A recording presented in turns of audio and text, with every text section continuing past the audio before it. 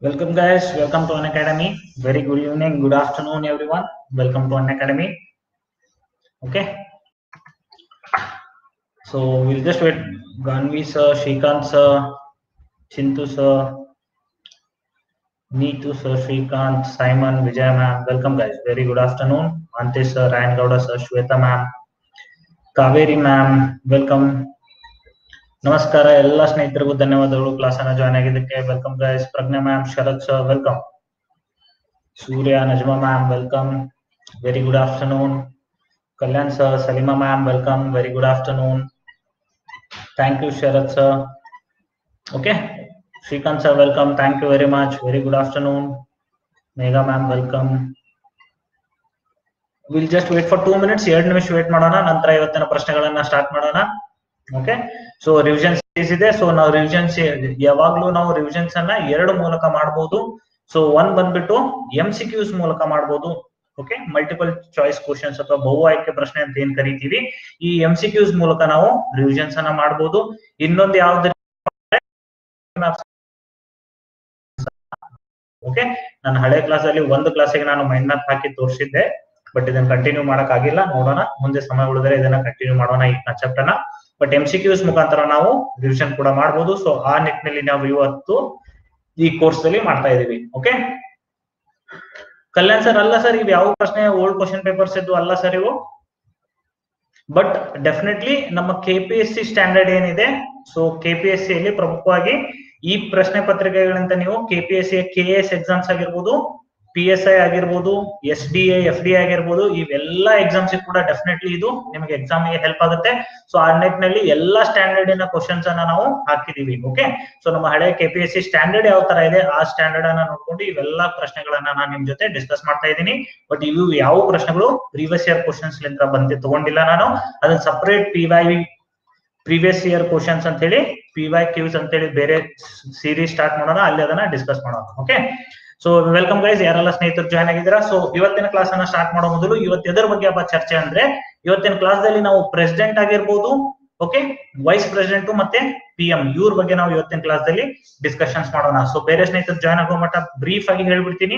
ಯಾರಪ್ಪ ಇವರೆಲ್ಲ ಅಂದ್ರೆ ಸೊ ನಾವ್ ಇವಾಗ ಹಿಸ್ಟಾರಿಕಲ್ ಬ್ಯಾಕ್ ಗ್ರೌಂಡ್ ಹಿಡಿದು ಫಂಡಮೆಂಟಲ್ ರೈಟ್ಸ್ ಡ್ಯೂಟೀಸ್ ಎಲ್ಲ ನೋಡಿದ್ವಿ. ನೆಕ್ಸ್ಟ್ ಎದ್ರ ಬಗ್ಗೆ ಇವತ್ತಿನ ಪ್ರಶ್ನೆಗಳಂದ್ರೆ ಯೂನಿಯನ್ ಎಕ್ಸಿಕ್ಯೂಟಿವ್ಸ್ ಅಂತ ಹೇಳಿ ಕರಿತೀವಿ. ಅಂದ್ರೆ ಕೇಂದ್ರದ ಕಾರ್ಯಾಂಗದ ಬಗ್ಗೆ ಇವತ್ತಿನ ಪ್ರಶ್ನೆಗಳನ್ನ ಡಿಸ್ಕಸ್ ಮಾಡೋಣ. ಸೊ ಈ ಕೇಂದ್ರದ ಕಾರ್ಯಾಂಗದಲ್ಲಿ ಮುಖ್ಯವಾಗಿ ಏನಿರುತ್ತೆ ಅಂದ್ರೆ, ಕೇಂದ್ರದ ಕಾರ್ಯಾಂಗದಲ್ಲಿ ಆರು ಸಾರಿ ಐದು ಸ್ಥಾನಗಳನ್ನ ನಾವು ನೋಡ್ತೀವಿ. ಐದು ಸ್ಥಾನಗಳನ್ನ ನಾವು ನೋಡ್ತೀವಿ. ಆ ಐದು ಸ್ಥಾನಗಳು ಯಾವ ಪಾವು? ಸೊ ಐದು ಸ್ಥಾನಗಳು ಪ್ರಮುಖವಾಗಿರೋದು ನಮ್ಮ ಪ್ರೆಸಿಡೆಂಟ್ ಅವರ ಸ್ಥಾನ ಇದೆ, ನಮ್ಮ ವೈಸ್ ಪ್ರೆಸಿಡೆಂಟ್ ಅವರ ಸ್ಥಾನ ಇದೆ, ನಮ್ಮ ಪ್ರೈಮ್ ಮಿನಿಸ್ಟರ್ ಅವರ ಸ್ಥಾನ ಇದೆ, ನಮ್ಮ ಕೌನ್ಸಿಲ್ ಆಫ್ ಮಿನಿಸ್ಟರ್ ಸ್ಥಾನ ಇದೆ ದೆನ್ ಹಂತದಲ್ಲಿ ನಮ್ಮ ಅಟಾರ್ನಿ ಜನರಲ್ ಅವರ ಸ್ಥಾನ ಇದೆ. ಓಕೆ ಸೊ ಈ ಐದು ಸ್ಥಾನಗಳಿಗೆ ನಾವ್ ಏನಂತ ಕರಿತೀವಿ? ದಯವಿಟ್ಟು ಇದನ್ನ ಬ್ಯಾಟ್ ಮಾಡ್ಬಿಡಿ. ಓಕೆ ಸೊ ನಮ್ಮ ಸಂವಿಧಾನದ ಭಾಗ ಐದು ಏನಿದೆ ಅಲ್ಲ? Part five of the constitution ಸಂವಿಧಾನದ ಐದನೇ ಭಾಗದಲ್ಲಿ ಈ ಕೇಂದ್ರದ ಕಾರ್ಯಾಂಗದ ಬಗ್ಗೆ ನಾವು ಚರ್ಚೆಯನ್ನ ಮಾಡ್ತಾ ಇರ್ತೀವಿ. ಸೊ ಇಲ್ಲಿ ಬಂದ್ಬಿಟ್ಟು ಐವತ್ತೆರಡನೇ ಆರ್ಟಿಕಲ್ ನಿಂತ ಹಿಡಿದು ಎಪ್ಪತ್ತೆಂಟನೇ ಆರ್ಟಿಕಲ್ ವರೆಗೂ ನಾವು ನಮ್ಮ ಈ ಐದು ಸ್ಥಾನಗಳನ್ನ ಕೇಂದ್ರದ ಕಾರ್ಯಾಂಗ ಅಂತ ಏನ್ ಕರಿತೀವಿ. ಈ ಐದು ಸ್ಥಾನದ ಬಗ್ಗೆ ನೋಡ್ತೀವಿ. ಹಾಗಾದ್ರೆ ಇವತ್ತಿನ ಕ್ಲಾಸ್ ಅಲ್ಲಿ ನಾವು ಏನ್ ನೋಡೋಣ ಅಂದ್ರೆ ಪ್ರೆಸಿಡೆಂಟ್ ಅವರು ವೈಸ್ ಪ್ರೆಸಿಡೆಂಟ್ ಅವರು ಮತ್ತೆ ಪಿ ಅವರು ಬಹಳ ಇಂಪಾರ್ಟೆಂಟ್ ಟಾಪಿಕ್ ದಯವಿಟ್ಟು ಕಾನ್ಸಂಟ್ರೇಟ್ ಕೊಟ್ಟು ಉತ್ತರವನ್ನ ಕೊಡ್ತಾ ಹೋಗಿ. ಓಕೆ ಬಿಫೋರ್ ಬಿಗಿನಿಂಗ್ ನನ್ನ ಬಗ್ಗೆ ಒಂದು ಸೊ ಈ ಸೀರೀಸ್ ಸ್ಟಾರ್ಟ್ ಮಾಡಿದ್ದೀನಿ. ಸೊ ಯಾರು ಸ್ನೇಹಿತರು ಇವತ್ತು ಜಾಯ್ನ್ ಆಗಿದ್ರ ಸೊ ಪ್ರತಿದಿನ ಬಂದ್ಬಿಟ್ಟು ನಾನು ನಾಲ್ಕು ಗಂಟೆಲಿಂದ ಹಿಡಿದು ಐದು ಗಂಟೆವರೆಗೂ ನಿಮ್ ಜೊತೆ ಇಂಡಿಯನ್ ಕ್ವಾಲಿಟಿಯ ಎಂ ಸಿ ಕ್ಯೂಸ್ ಅನ್ನ ಡಿಸ್ಕಸ್ ಮಾಡ್ತಾ ಇರ್ತೀನಿ. ಓಕೆ ಸೊ ನನ್ ಬಗ್ಗೆ ಮಾಹಿತಿ ಕೊಡ್ಬೇಕಂದ್ರೆ ನನ್ನ ಹೆಸರು ಬಂದ್ಬಿಟ್ಟು ಸಂತೋಷ್ ಹಿರೇಮಠ್ ಅಂತ ಹೇಳಿ ಬಿ ದಲ್ಲಿ ಗ್ರಾಜುಯೇಷನ್ ಮಾಡಿದೀನಿ ಮತ್ತು ನಾನು ತಹಸೀಲ್ದಾರ್ ಆಗಿ ಆಯ್ಕೆಯಾಗಿದ್ದೀನಿ. Okay so two thousand fifteen notification ದಲ್ಲಿ ತಹಸೀಲ್ದಾರ್ ಆಗಿ ಆಯ್ಕೆಯಾಗಿದ್ದೀನಿ. ಇದು ನನ್ನ ಅನ್ ಅಕಾಡೆಮಿ ಲಿಂಕ್ ನಾನು ಅನ್ ಅಕಾಡೆಮಿ ಪ್ಲಸ್ ಪ್ಲಾಟ್ಫಾರ್ಮ್ ದಲ್ಲಿ ಬಹಳಷ್ಟು ಕ್ಲಾಸಸ್ ಅನ್ನ ಮಾಡಿರ್ತೀನಿ. ಅಂತ್ಯದಲ್ಲಿ ಇದರ ಬಗ್ಗೆ ಡಿಸ್ಕಸ್ ಮಾಡೋಣ. Okay let's begin in case ನೀವು ಲೈವ್ ಕ್ಲಾಸಿಗೆ ಜಾಯ್ನ್ ಆಗ್ಬೇಕಂದ್ರೆ ಸಂತೋಷ್ ಲೈವ್ ನನ್ನ ಪ್ಲಸ್ ಕ್ಲಾಸ್ಗೆ ಜಾಯ್ನ್ ಆಗಕ್ಕೆ. ಓಕೆ ವೆರಿ ಗುಡ್ ಈವ್ನಿಂಗ್ ಎಲ್ಲ ಸ್ನೇಹಿತರಿಗೆ. ವಾಯ್ಸ್ ಬ್ರೇಕ್ ಆಗ್ತಾ ಇದೆಯಾ ಸ್ನೇಹಿತರೆ? ಅಥವಾ ಎಲ್ಲ ಕ್ಲಿಯರ್ ಇದೆಯಾ? ಕ್ಲಿಯರ್ ಇದ್ರೆ ದಯವಿಟ್ಟು ಒಮ್ಮೆ ತಮ್ಸಪ್ ಅನ್ನ ಕೊಟ್ಬಿಡಿ. ಟೆಕ್ನಿಕಲಿ ಏನ್ ತೊಂದರೆ ಇರೋದು ಬೇಡ ಓಕೆ ಓಕೆ ಕ್ಲಿಯರ್ ಇದೆ ಅಂತ ಹೇಳಿ ಭಾವಿಸಿದ್ದೀನಿ ಓಕೆ ಎಕ್ಕೋ ಅದು ಎಕ್ಕೋ ಒಮ್ಮೆ ಪ್ರಾಬ್ಲಮ್ ಆಗುತ್ತೆ sir okay okay voice break ಆಗ್ತಾ ಇದೆ. ಸೊ ಸುಮ್ನೆ ನಾವು ನೆಟ್ವರ್ಕ್ ಅನ್ನ change ಮಾಡ್ಬಿಡೋಣ. Just give me one second so ದಯವಿಟ್ಟು ಒಮ್ಮೆನೆ ನಾನು ರಿಕ್ವೆಸ್ಟ್ ಮಾಡ್ತೀನಿ ಎಲ್ಲ ಸ್ನೇಹಿತರಿಗೆ, ಏನಪ್ಪಾ ಅಂದ್ರೆ ದಯವಿಟ್ಟು ಯಾರು ಕೂಡ ಕಮೆಂಟ್ ಸೆಕ್ಷನ್ ದಲ್ಲಿ ಆನ್ಸರ್ಸ್ ಗಳನ್ನ ಟೈಪ್ ಮಾಡಬೇಡಿ ಓಕೆ ಕಮೆಂಟ್ ಸೆಕ್ಷನ್ ಅಲ್ಲಿ ಮಾತ್ರ ಆನ್ಸರ್ಸ್ ಗಳನ್ನ ಟೈಪ್ ಮಾಡಕ್ ಹೋಗ್ಬೇಡಿ. ಓಕೆ ಸೊ ಲೆಟ್ಸ್ ಬಿಗಿನ್ ಇವತ್ತಿನ ಕ್ಲಾಸ್ ಅನ್ನ ಸ್ಟಾರ್ಟ್ ಮಾಡೋಣ. ಮೊದಲನೇ ಪ್ರಶ್ನೆ ನೋಡ್ಕೊಳ್ಳಿ. ಒಮ್ಮೆ ರಿಕ್ವೆಸ್ಟ್ ಮಾಡಿದ್ದೀನಿ. ಯಾರು ಕೂಡ ದಯವಿಟ್ಟು ಪದೇ ಪದೇ ಹೇಳಿಸ್ಕೋಬೇಡಿ ಎಲ್ಲ ಸ್ನೇಹಿತರು ಡಿಸ್ಟರ್ಬ್ ಕೂಡ ಮಾಡಬೇಡಿ. ಕಮೆಂಟ್ ಸೆಕ್ಷನ್ ದಲ್ಲಿ ಮಾತ್ರ ಉತ್ತರವನ್ನು ಹಾಕ್ಬೇಡಿ. ಆರಾಮಾಗಿ ಟೈಮ್ ಇರುತ್ತೆ. ಯೋಚನೆ ಮಾಡಿ ಉತ್ತರವನ್ನು ಕೊಡಿ. ಪೋಲ್ಸ್ ದಲ್ಲಿನೇ ಉತ್ತರ ಕೊಡಿ. ಅರವತ್ನಾಲ್ಕನೇ ಪ್ರಶ್ನೆ ಇದು. ಯಾಕೆ? ಬಿಕಾಸ್ ಅರವತ್ ಮೂರರ ಮಟ್ಟ ನಿನ್ನೆ ಕ್ಲಾಸ್ ಅಲ್ಲಿ ನಾವು ಡಿಸ್ಕಸ್ ಮಾಡಿದ್ವಿ ಓಕೆ ಸೊ ಟೆಲಿಗ್ರಾಮ್ ಬಗ್ಗೆ ಅಂತ್ಯದಲ್ಲಿ ಡಿಸ್ಕಸ್ ಮಾಡೋಣ ಸ್ನೇಹಿತರೆ. ಟೆಲಿಗ್ರಾಮ್ ಚಾನಲ್ ಬಗ್ಗೆ ಇಷ್ಟು ಕೇಳ್ತಾ ಇದ್ರೆ ಒಂದು ಟೆಲಿಗ್ರಾಮ್ ಚಾನಲ್ ಅನ್ನ ಕ್ರಿಯೇಟ್ ಮಾಡಿದೀನಿ ಅಂತ್ಯದಲ್ಲಿ ಅದರ ಬಗ್ಗೆ ಚರ್ಚೆ ಮಾಡೋಣ ಓಕೆ ಸೊ ಲೆಟ್ಸ್ ಬಿಗಿನ್ ಮೊದಲನೇ ಪ್ರಶ್ನೆ ನೋಡಿ. ಇವತ್ತು ಅರವತ್ನಾಲ್ಕು, ಯಾಕಂದ್ರೆ ಅರವತ್ ಮೂರ್ ಮಟ್ಟ ನಿನ್ನೆ ಕ್ಲಾಸ್ ಅಲ್ಲಿ ಆಗಿದೆ. ಸೊ ಕಂಟಿನ್ಯೂಷನ್ ಮಾಡ್ತಾ ಇದೀವಿ. When the president consider the following statements Kannada ಮಾಧ್ಯಮ ಸ್ನೇಹಿತರು, ದಯವಿಟ್ಟು ಕನ್ನಡದಲ್ಲಿ ಹೋಗ್ತಾ ಇರಿ. When the president of india is to be impeached for violation of constitution, the charges shall be preferred by either house of the parliament ಅಂದ್ರೆ preferred ಅಂದ್ರೇನು ಯಾವ್ದಾದ್ರು ಸದನದಲ್ಲಿ ನೀವು ಇದನ್ನ ತಗೊಂಡ್ ಬರ್ಬಹುದು ನೀವು ಚಾರ್ಜಸ್ ಅನ್ನ ಹಾಕ್ಬಹುದು ಏನ್ charge violation of constitution charge ಅನ್ನ. ಎರಡನೇ ಸ್ಟೇಟ್ಮೆಂಟ್ ಹೇಳ್ತಾ ಇದೆ. The election to fill the vacancy of the office of the president ಏನಾದ್ರೂ ಈ ಸ್ಥಾನ ಖಾಲಿ ಆಯ್ತಪ್ಪ ಅಂದ್ರೆ ಪ್ರೆಸಿಡೆಂಟ್ ಅವ್ರ ಸ್ಥಾನ ಖಾಲಿ ಆಯ್ತಂದ್ರೆ occurring by the reason of his death resignation removal or otherwise ಯಾವ ಕಾರಣಕ್ಕೆ ಖಾಲಿ ಆಗ್ತಾ ಇದೆ ಅದು? ಈ ಕಾರಣ ಕೂಡ ಆಗತ್ತೆ ನಮ್ಗೆ. ಡೆತ್ ಕಾರಣ ರೆಸಿಗ್ನೇಷನ್ ಕೊಡ್ತಾ ಇದ್ದಾರೆ ರಿಮೂವ್ ಮಾಡ್ತಾ ಇದ್ದಾರೆ, ಅಥವಾ ಇತರೆ ಕಾರಣಗಳಿಂದ. ಓಕೆ ದೆನ್ ಅಂತ ಸಂದರ್ಭದಲ್ಲಿ it shall be held in no case later than nine months from the date of occurrence of the vacancy ಅಂತ ಹೇಳ್ತಾ ಇದ್ದಾರೆ. ಅಂದ್ರೆ ಒಂಬತ್ತು ತಿಂಗಳಲ್ಲಿನೇ ಈ ವೇಕೆನ್ಸಿಯನ್ನ ನೀವು ತುಂಬಬೇಕು ಅಂತ ಹೇಳಿ ಹೇಳ್ತಾ ಇದ್ದಾರೆ. ದಯವಿಟ್ಟು ಈ ಪ್ರಶ್ನೆಗೆ ಸರಿಯಾದ ಉತ್ತರ ಯಾವುದು ಅಂತೇಳಿ ಕಮೆಂಟ್ ಸೆಕ್ಷನ್ ದಲ್ಲಿ ಹಾಕಬೇಡಿ ಯಾರು ಸ್ನೇಹಿತರು ಕಮೆಂಟ್ ಸೆಕ್ಷನ್ ದಲ್ಲಿ ಹಾಕ್ಬೇಡಿ ಪೋಸ್ಟ್ ದಲ್ಲಿನೇ ಕೊಡಿ. Okay so very good evening Pavithra ma'am. Welcome ಎಲ್ಲಾ ಸ್ನೇಹಿತರು ಯಾರು ಜಾಯ್ನ್ ಆಗಿದ್ರ welcome guys very good evening so ಈ ಒಂದ್ ಎಂ ಸಿ ಕ್ಯೂಸ್ ಮೂಲಕ ನಿಮ್ಗೆ ನಾನು ಜಸ್ಟ್ ಒಂದ್ ಐದು ಸೆಕೆಂಡ್ ನಿಮ್ ಟೈಮ್ ಅನ್ನ ತಗೋತೀನಿ. ನೀವು ಎಂ ಸಿ ಕ್ಯೂಸ್ ಯಾವ ತರ ಸಾಲ್ವ್ ಮಾಡ್ಬೇಕು ಅಂತೇಳಿ ಇದೊಂದು ಒಳ್ಳೆ ಎಕ್ಸಾಂಪಲ್ ನಮ್ಗೆ. ಒಂದ್ ಎಂ ಸಿ ಕ್ಯೂಸ್ ಅನ್ನ ಸುಮ್ನೆ ಪ್ರಶ್ನೆ ಓದ್ಬಿಟ್ಟು ಎನ ಬಿನ ಡಿ ಡಿನ ಇಷ್ಟೇ ಮಾಡೋದಲ್ಲ. ಒಂದ್ ಎಂ ಸಿ ಕ್ಯೂಸ್ ತಗೊಂಡು ಇಡೀ ಕನ್ಸೆಪ್ಟ್ ಅನ್ನ ನಾವು ಯಾವ ತರ ರಿವೈಸ್ ಮಾಡಬಹುದು ಅನ್ನೋದನ್ನ ಈ ಒಂದು ಎಂ ಸಿ ಕ್ಯೂಸ್ ಮುಖಾಂತರ ನಿಮ್ಗೆ ತೋರಿಸ್ಕೊಡೋ ಪ್ರಯತ್ನ ಮಾಡ್ತೀನಿ. ಓಕೆ ವೆರಿ ಗುಡ್ ಬಹಳಷ್ಟು ಜನ ಸರಿಯಾದ ಉತ್ತರ ಕೊಟ್ಟಿದ್ರೆ, ಬಹಳಷ್ಟು ಜನ ಮೆಜಾರಿಟಿ ಆಫ್ ದಿ ಜನ ಎಪ್ಪತ್ತೆರಡು ಪರ್ಸೆಂಟ್ ಜನ ಸರಿಯಾದ ಉತ್ತರ ಕೊಟ್ಟಿದ್ರೆ ಎಕ್ಸಲೆಂಟ್ ಗೈಸ್ ಸೊ ಸರಿಯಾದ ಉತ್ತರ ಯಾವ್ದಪ್ಪ ಅಂದ್ರೆ ಎ. ಕೇವಲ ಒಂದನೇ ಸ್ಟೇಟ್ಮೆಂಟ್ ಮಾತ್ರ ಸರಿ ಇದೆ. ಎರಡನೇ ಸ್ಟೇಟ್ಮೆಂಟ್ ಏನ್ ತಪ್ಪಿದೆ ಅಂದ್ರೆ ಕೇವಲ ಇದು ಒಂಬತ್ತು ತಿಂಗಳಲ್ಲ, ಕೇವಲ ಅದು ಎಷ್ಟಿದು? ಆರು ತಿಂಗಳದ ಒಳಗಡೆ ಓಕೆ ಸೊ ದಯವಿಟ್ಟು ಇದೊಂದು ಎಕ್ಸಾಂಪಲ್ ಅನ್ನ ನಿಮ್ಗೆ ಹೇಳ್ತೀನಿ ನೋಡಿ. ಸೊ ನೀವು ಪ್ರಶ್ನೆ ಓದಿದ್ರ? Consider the following statement when the president is impeached so ಪಟ್ನೆ ನಿಮ್ ತಲೆಯಲ್ಲಿ ಈ ಇಂಪೀಚ್ಮೆಂಟ್ ಈ ಪ್ರಶ್ನೆನ ಸಾಲ್ವ್ ಮಾಡಿದ ನಂತರ ನೀವು ಈ ಒಂದು ಎಕ್ಸಾಮ್ ಈ ಒಂದು ಎಂ ಸಿ ಅನ್ನ ಯಾವ ತರ ರಿವೈಸ್ ಮಾಡ್ಬೇಕು ನೀವು? ಓಕೆ ನೀವು ರಿವೈಸ್ ಮಾಡೋದು ಹೇಗೆ? ಇಂಪೀಚ್ಮೆಂಟ್ ಕೇಳ್ತಿದ್ದಾನೆ. ಸೊ ನಾ ಕಣ್ಣು ಮುಚ್ಕೊಂಡು ಇಂಪೀಚ್ಮೆಂಟ್ ಪ್ರಕ್ರಿಯೆ ಏನಿದೆ? ಸೊ ಮೊಟ್ಟ ಮೊದಲನೇದು ಹೇಳಿದಾನೆ, ರಾಷ್ಟ್ರಪತಿಗಳನ್ನ ಇಂಪೀಚ್ ಮಾಡೋದು ಯಾವ ಯಾವ ಕಾರಣಕ್ಕಾಗಿ? ಸಂವಿಧಾನದಲ್ಲಿ ಒಂದೇ ಒಂದು ಕಾರಣವನ್ನ ಮೆನ್ಷನ್ ಮಾಡಿದ್ದಾರೆ ಅದು ಒಂದೇ ಒಂದು ಕಾರಣಕ್ಕೆ ನೀವು ರಾಷ್ಟ್ರಪತಿಗಳನ್ನ ಇಂಪೀಚ್ ಮಾಡಬಹುದು ಅದ್ ಯಾವ್ದು ಕಾರಣ? ವಯೋಲೇಷನ್ ಆಫ್ ಕಾನ್ಸ್ಟಿಟ್ಯೂಷನ್ ಹಾಗಾದ್ರೆ ನಿಮ್ ತಲೆಯಲ್ಲಿ ಪಟ್ಟನೆ ಏನ್ ಬರ್ಬೇಕು? ಇಂಪೀಚ್ಮೆಂಟ್ ಪ್ರಕ್ರಿಯೆ ಏನಿದೆ? ನಾವು ಪ್ರೊಸೀಜರ್ ಹೇಳಿದೀನಿ ಸ್ಟೆಪ್ಸ್ ಹೇಳಿದೀನಿ, ಎಲ್ಲಿ ಬಿಲ್ ಬರ್ಬೇಕು, ಯಾರು ಪಾಸ್ ಮಾಡ್ಬೇಕು, ನಂತರ ಯಾವ ಸದನಕ್ಕೆ ಹೋಗ್ಬೇಕು, ಎಲ್ಲಿ ಇನ್ಕ್ವೈರಿ ನಡೆಯುತ್ತೆ, ಎಲ್ಲ ಡೀಟೇಲ್ ನಿಮ್ ಕಣ್ ಮುಂದೆ ಬರ್ಬೇಕು ಒಮ್ಮೆ ಎಸ್ ಡನ್ ಅಂದ್ರೆ ನಂದು ಈಗ ಇಂಪೀಚ್ಮೆಂಟ್ ರಿವೈಸ್ ಆಯ್ತು. ನೆಕ್ಸ್ಟ್ ಬರೋಣ. ನೆಕ್ಸ್ಟ್ ಸೆಂಟೆನ್ಸ್ ಅಲ್ಲಿ ಏನ್ ಕೇಳಿದಾನೆ? ಈ ಎಲೆಕ್ಷನ್ ವೇಕೆನ್ಸಿ ಬಗ್ಗೆ ಕೇಳಿದಾನೆ. ಓಕೆ ರಾಷ್ಟ್ರಪತಿಗಳ ವೇಕೆನ್ಸಿ ಯಾವಾಗ ಯಾವಾಗ ಕ್ರಿಯೇಟ್ ಆಗುತ್ತೆ ಅಂತ ಅದನ್ನು ಕೂಡ ಎಕ್ಸ್ಪ್ಲೇನ್ ಮಾಡಿದೀನಿ. ಸೊ ಅವರು ಅವರು ಡೆತ್ ಆಗ್ಬೋದು, ನಿಧನ ಆಗ್ಬೋದು ಓಕೆ ಅವರು ರಾಜೀನಾಮೆನ ಕೊಡ್ಬೋದು ಓಕೆ ರಾಜೀನಾಮೆ ಯಾರಿಗೆ ಕೊಡ್ತಾರ ಅವರು? ವೈಸ್ ಪ್ರೆಸಿಡೆಂಟ್ ರಾಜೀನಾಮೆ ಕೊಡ್ತಾರ ಅವರು? ಈ ತರ ರಿವೈಸ್ ಮಾಡಬೇಕು. ಪ್ರಶ್ನೆಯಲ್ಲಿ ಇಲ್ಲ ಅದು but this is the way to study M C Qs okay resignation ಅವ್ರು ರಾಷ್ಟ್ರಪತಿ ಉಪರಾಷ್ಟ್ರಪತಿಗಳಿಗೆ ಕೊಡಬಹುದು ಅವರು. ನಂತರ ಅವರನ್ನ ರಿಮೂವ್ ಮಾಡಬಹುದು ಓಕೆ ರಿಮೂವ್ ನಾ ಪ್ರಕ್ರಿಯೆ ಆಲ್ರೆಡಿ ಹೇಳಿದೀನಿ. ಇಂಪೀಚ್ ಮಾಡೋ ಪ್ರಕ್ರಿಯೆ ಯಾವ ತರ ರಿವೈಸ್ ಮಾಡಿದೀನಿ. ಅಥವಾ ಇತ್ರೆ ಅಂದಿದ್ದಾನೆ. ಇತ್ರಿ ಅಂದ್ರೆ ಏನಪ್ಪಾ ಇದು? ನಾವು ಕ್ಲಾಸ್ ಅಲ್ಲಿ ಡಿಸ್ಕಸ್ ಮಾಡಿದ್ವಿ. ಇತ್ರಿ ಅಂದ್ರೆ ಅವರ ಎಲೆಕ್ಷನ್ ಪ್ರಕ್ರಿಯೆನೇ ರದ್ದಾಗಿತ್ತು. ಅವರ ಚುನಾವಣೆ, ಯಾವ ಚುನಾವಣೆ ಮೂಲಕ ಅವ್ರು ಆಯ್ಕೆ ಆಗಿದ್ದಾರೆ, ಆ ಚುನಾವಣೆ ಪ್ರಕ್ರಿಯೆ ರದ್ದು ಮಾಡಿತ್ತು. ಅಲ್ಲಿ ಇಲ್ಲಿಗಲ್ ಆಗಿ ಅವ್ರು ಆಯ್ಕೆ ಆಗಿದ್ರು ಅಂತ ಹೇಳಿ ಅಥವಾ ಇತರೆ ಕಾರಣ ಅವ್ರ ಆಫೀಸ್ ಆಫ್ ಪ್ರಾಫಿಟ್ ಹೊಂದಿದ್ದಾರೆ ಅಂತ ಹೇಳಿ ಅವರನ್ನ ನಾವು ರಿಜೆಕ್ಟ್ ಮಾಡಿರ್ಬೋದು. ಸೊ ಬೇರೆ ಕಾರಣಗಳಿಂದ ಆ ಸ್ಥಾನವನ್ನು ಅವ್ರು ಕಳ್ಕೊಂಡಿರ್ಬೋದು. ಸೊ ಪ್ರಶ್ನೆ ಒಂಬತ್ತು ತಿಂಗಳಲ್ಲ, ಆರು ತಿಂಗಳ ಸೊ ಕೇವಲ ಈ ಎರಡು ಸೆಂಟೆನ್ಸ್ ಮೂಲಕ ಇಡೀ ನಮ್ಮ ಕನ್ಸೆಪ್ಟ್ ಅದು ಕ್ವಶನ್ ಎದುರ ಮೇಲೆ ಇದೆ ಅವನ್ನೆಲ್ಲ ಒಮ್ಮೆ ನಾವು ಕಣ್ಣು ಹಾಕೊಂಡು ಬಂದ್ವಿ. ಓಕೆ ಸೊ ಅದಕ್ಕೋಸ್ಕರ ಇದೇ ತರ ದಯವಿಟ್ಟು ನೀವು ಪ್ರತಿಯೊಂದು ಎಂ ಸಿ ಕ್ಯೂಸ್ ಅನ್ನ ಕೇವಲ ಎ ಬಿ ಸಿ ಡಿ ಅಷ್ಟೇ ಯೋಚನೆ ಮಾಡಬೇಡಿ. ಕ್ಲಾಸ್ ದಲ್ಲಿ ಅಷ್ಟು ಯೋಚನೆ ಮಾಡಿ, ನಂತರ ಈ ಪಿ ಡಿ ಎಫ್ ಅನ್ನ ಡೌನ್ಲೋಡ್ ಮಾಡ್ಕೊಂಡು ಪ್ರತಿ ಎಂ ಸಿ ಕ್ಯೂಸ್ ಅನ್ನ ಆ ತರ ಸ್ಟಡಿ ಮಾಡಿ ಬ್ಯೂಟಿಫುಲಿ ನಿಮ್ ಕನ್ಸೆಪ್ಟ್ ರಿವೈಸ್ ಆಗುತ್ತೆ. ಓಕೆ ನೆಕ್ಸ್ಟ್ ಪ್ರಶ್ನೆ ಏನೋ ನೋಡಿ, ಅರವತ್ತೈದನೇ ಪ್ರಶ್ನೆ, ಯಾರು ದಯವಿಟ್ಟು ಉತ್ತರ ಕೊಡಬೇಡಿ? ಯಾರೆಲ್ಲ ಜಾಯ್ನ್ ಆಗಿದ್ರೆ ವೆಲ್ಕಮ್ ಗೈಸ್ ದಯವಿಟ್ಟು ಎರಡನೇ ಎರಡನೇ ಪ್ರಶ್ನೆ ಇವತ್ತಿಂದು ಕಾನ್ಸಂಟ್ರೇಟ್ ಕೊಡಿ. The expiry of the term of five years of the president of India the outgoing president must continue to hold the office until his successor enters upon his office ಏನ್ ಹೇಳ್ತಾ ಇದಾರೆ ಅಂದ್ರೆ, ಸರಿನೋ ತಪ್ಪೋ ನಂಗೆ ಗೊತ್ತಿಲ್ಲ ಬಟ್ ಒಂದೇ statement ಏನ್ ಹೇಳ್ತಾ ಇದೆ ಅಂತ ಹೇಳ್ತಾ ಇದ್ದೀನಿ.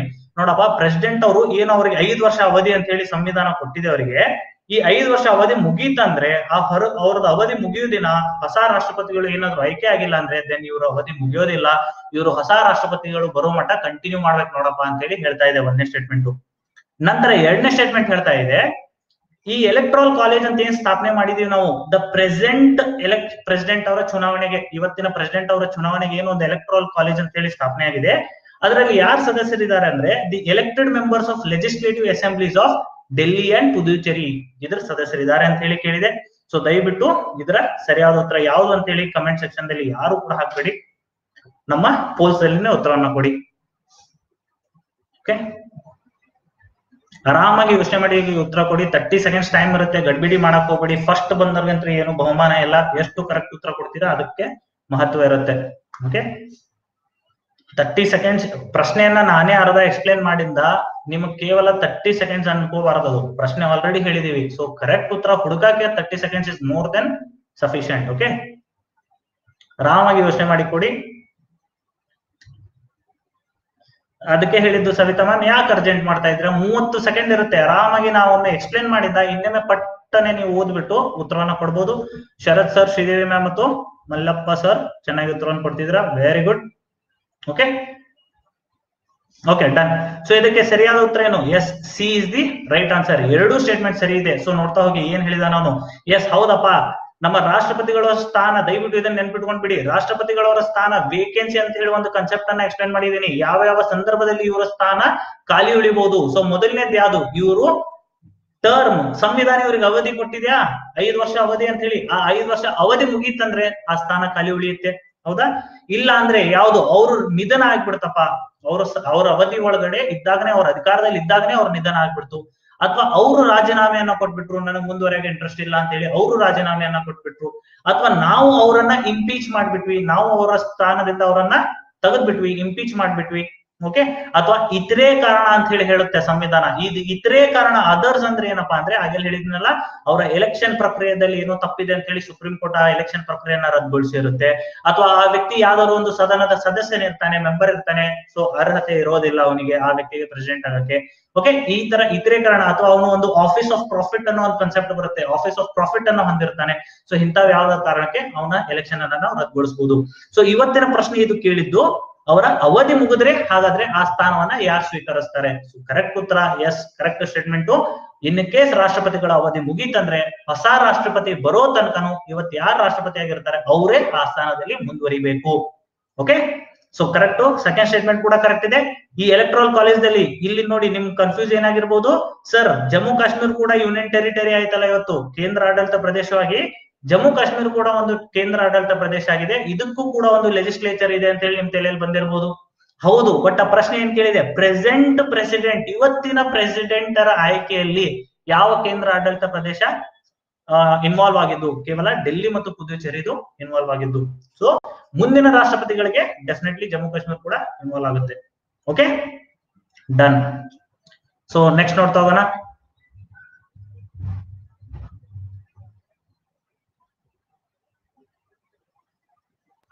ಓಕೆ ನೆಕ್ಸ್ಟ್ ನೋಡ್ತಾ ಹೋಗಿ. ದಯವಿಟ್ಟು ನೆಕ್ಸ್ಟ್ ಪ್ರಶ್ನೆ sixty six which one of the following statement is correct simple ಇದೆ. ಐದು ಸ್ಟೇಟ್ಮೆಂಟ್ ನಾಲ್ಕು ಸ್ಟೇಟ್ಮೆಂಟ್ ಕೊಟ್ಟಿದ್ದೀನಪ್ಪ ಯಾವ್ದು ಕರೆಕ್ಟ್ ಇದೆ ಹೇಳು ಅಂತ ಹೇಳಿ ಪ್ರಶ್ನೆ ಕೇಳ್ತಾ ಇದೆ. ಒಂದೇದ್ ನೋಡಿ chief election commissioner of India ಏನಿರ್ತಾರಲ್ಲ, ಅವ್ರ ಅವಧಿ they hold it they hold their office during the pleasure of the president ಈ ಪದದ ಅರ್ಥೇನು ಪ್ಲೆಜರ್ ಆಫ್ ದಿ ಪ್ರೆಸಿಡೆಂಟ್ ಅಂದ್ರೇನು ಪ್ರೆಸಿಡೆಂಟ್ ತಮಗೆ ಯಾವಾಗ ಮನ್ಸಿಗೆ ಬರುತ್ತೆ, ಅವಾಗ ಆ ವ್ಯಕ್ತಿಯನ್ನ ಆ ಸ್ಥಾನದಿಂದ ಕೆಳಗಿಳಿಸಬಹುದು ಓಕೆ ಪ್ಲೆಜರ್ ಆಫ್ ಪ್ರೆಸಿಡೆಂಟ್ ಅಂದ್ರೇನು ಪ್ರೆಸಿಡೆಂಟ್ ತಮಗೆ ಮನಸ್ಸು ಬಂದಾಗ ಆ ವ್ಯಕ್ತಿನ ಆ ಕೆಳಗಿಳಿಸಬಹುದು so chief election commissioner ಏನಿದಾರಲ್ಲ they hold their office during the pleasure of the president ಅಂತ ಒಂದೇದ್ ಹೇಳ್ತಾ ಇದೆ. Governor of the state hold their office during the pleasure of the president ಅಂತ ಎರಡನೇದು ಹೇಳ್ತಾ ಇದೆ. ಪ್ರೈಮ್ ಮಿನಿಸ್ಟರ್ ಇದನ್ನ ಕಾನ್ಸಂಟ್ರೇಟ್ ಕೊಡಿ. Prime minister can only be removed by resolution passed by both houses of the parliament ಅಂತ ಹೇಳ್ತಾ ಇದೆ.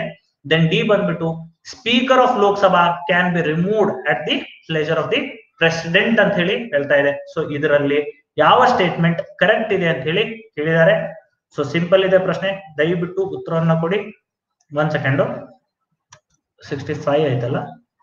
Okay sixty six one second ತಡ್ರಿ. ಏನೋ ಎರಡಾಯ್ತು ನನ್ ಪೋಲ್ ಬರ್ತಾ ಇಲ್ಲ. ಯಾರು ಕಮೆಂಟ್ ಸೆಕ್ಷನ್ ದಲ್ಲಿ ಹಾಕಕ್ ಹೋಗ್ಬಿಡಿ. ಓಕೆ ಓಕೆ ಬಂತು. ಹಾಕಿ. I think so poll visible ಇರ್ಬೇಕು ಎಲ್ಲ ಸ್ನೇಹಿತರಿಗೆ? ಓಕೆ ಇದೆ ಡನ್ ಓಕೆ ಹಾಕಿ, ದಯವಿಟ್ಟು ಹಾಕಿ ಪೋಲ್ ದಲ್ಲಿ ಮಾತ್ರ ಉತ್ತರ ಕೊಡಿ. ಯಾರ್ಯಾರು ರೀಸೆಂಟ್ ಆಗಿ ಜಾಯ್ನ್ ಆಗಿದ್ರೆ ದಯವಿಟ್ಟು ಸ್ನೇಹಿತರೆ ಆನ್ಸರ್ಸ್ ಗೊತ್ತಿದ್ರೆ ದಯವಿಟ್ಟು ಇವೇ ಆಪ್ಷನ್ಸ್ ಮ್ಯಾಮ್ ನಾಲ್ಕು ಸ್ಟೇಟ್ಮೆಂಟ್ ಕೊಟ್ಟಿದ್ದೀನಲ್ಲ, ನಾಲ್ಕರಲ್ಲಿ ಯಾವ್ದು ಕರೆಕ್ಟ್ ಇದೆ? ಎ ಬಿ ಸಿ ಡಿ ನಾಲ್ಕು ಆಪ್ಷನ್ ಇದಾವೆ. ನಾಲ್ಕು ಆಪ್ಷನ್ ದಲ್ಲಿ ಯಾವ ಆಪ್ಷನ್ ಕರೆಕ್ಟ್ ಇದೆ ಅಂತ ಹೇಳಿ ಕೊಡ್ಬೇಕು ನೀವು. ಯಾರು ಸ್ನೇಹಿತರು ಈಗ ರೀಸೆಂಟ್ ಆಗಿ ಜಾಯ್ನ್ ಆಗಿದ್ದೀರಾ, ದಯವಿಟ್ಟು ಕಮೆಂಟ್ ಸೆಕ್ಷನ್ ದಲ್ಲಿ ಹಾಕ್ಬೇಡಿ ಉತ್ತರವನ್ನ. Okay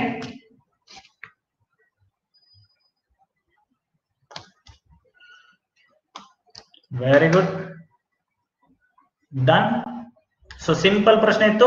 so chief election commissioner ಯಾವ್ದಿದು ಸಂವಿಧಾನಿಕವಾಗಿ ಸ್ಥಾಪನೆಯಾದ ಸಂಸ್ಥೆ ಎಲೆಕ್ಷನ್ ಕಮಿಷನ್ ಸೊ ಒಂದು ಸಂವಿಧಾನಿಕವಾಗಿ ಸ್ಥಾಪನೆಯಾದ ಸಂಸ್ಥೆಯ ಒಬ್ಬ ಚೇರ್ಮನ್ ಅನ್ನ ಚೀಫ್ ಅನ್ನ ನೀವು ಪ್ರೆಸಿಡೆಂಟ್ ಮನಸ್ಸು ಬಂದಾಗ ತೆಗ್ಯಾಕ್ ಬರಲ್ಲ. ಸೊ ಚೀಫ್ ಎಲೆಕ್ಷನ್ ಕಮಿಷನರ್ನ ತೆಗ್ಯಾಕೆ ಒಂದು ಪ್ರಕ್ರಿಯೆ ಇದೆ. ಆ ಪ್ರಕ್ರಿಯೆ ಏನಪ್ಪಾ? Yes it's a constitutional body ಅವ್ರ ಚೀಫ್ ಅನ್ನ ತೆಗ್ಯಾಕೆ ನೀವು ಯಾವ ರೀತಿ ಸುಪ್ರೀಂ ಕೋರ್ಟಿನ ಜಡ್ಜ್ ಅನ್ನ ತೆಗಿತೀರಾ? ಅದೇ ಪ್ರಕ್ರಿಯೆಯನ್ನ ಒಳಗೊಂಡು ಚೀಫ್ ಎಲೆಕ್ಷನ್ ಕಮಿಷನರ್ ಅನ್ನ ಕೂಡ ತೆಗಿಬೇಕಂತ ಹೇಳಿ ಸಂವಿಧಾನ ಹೇಳಿದೆ.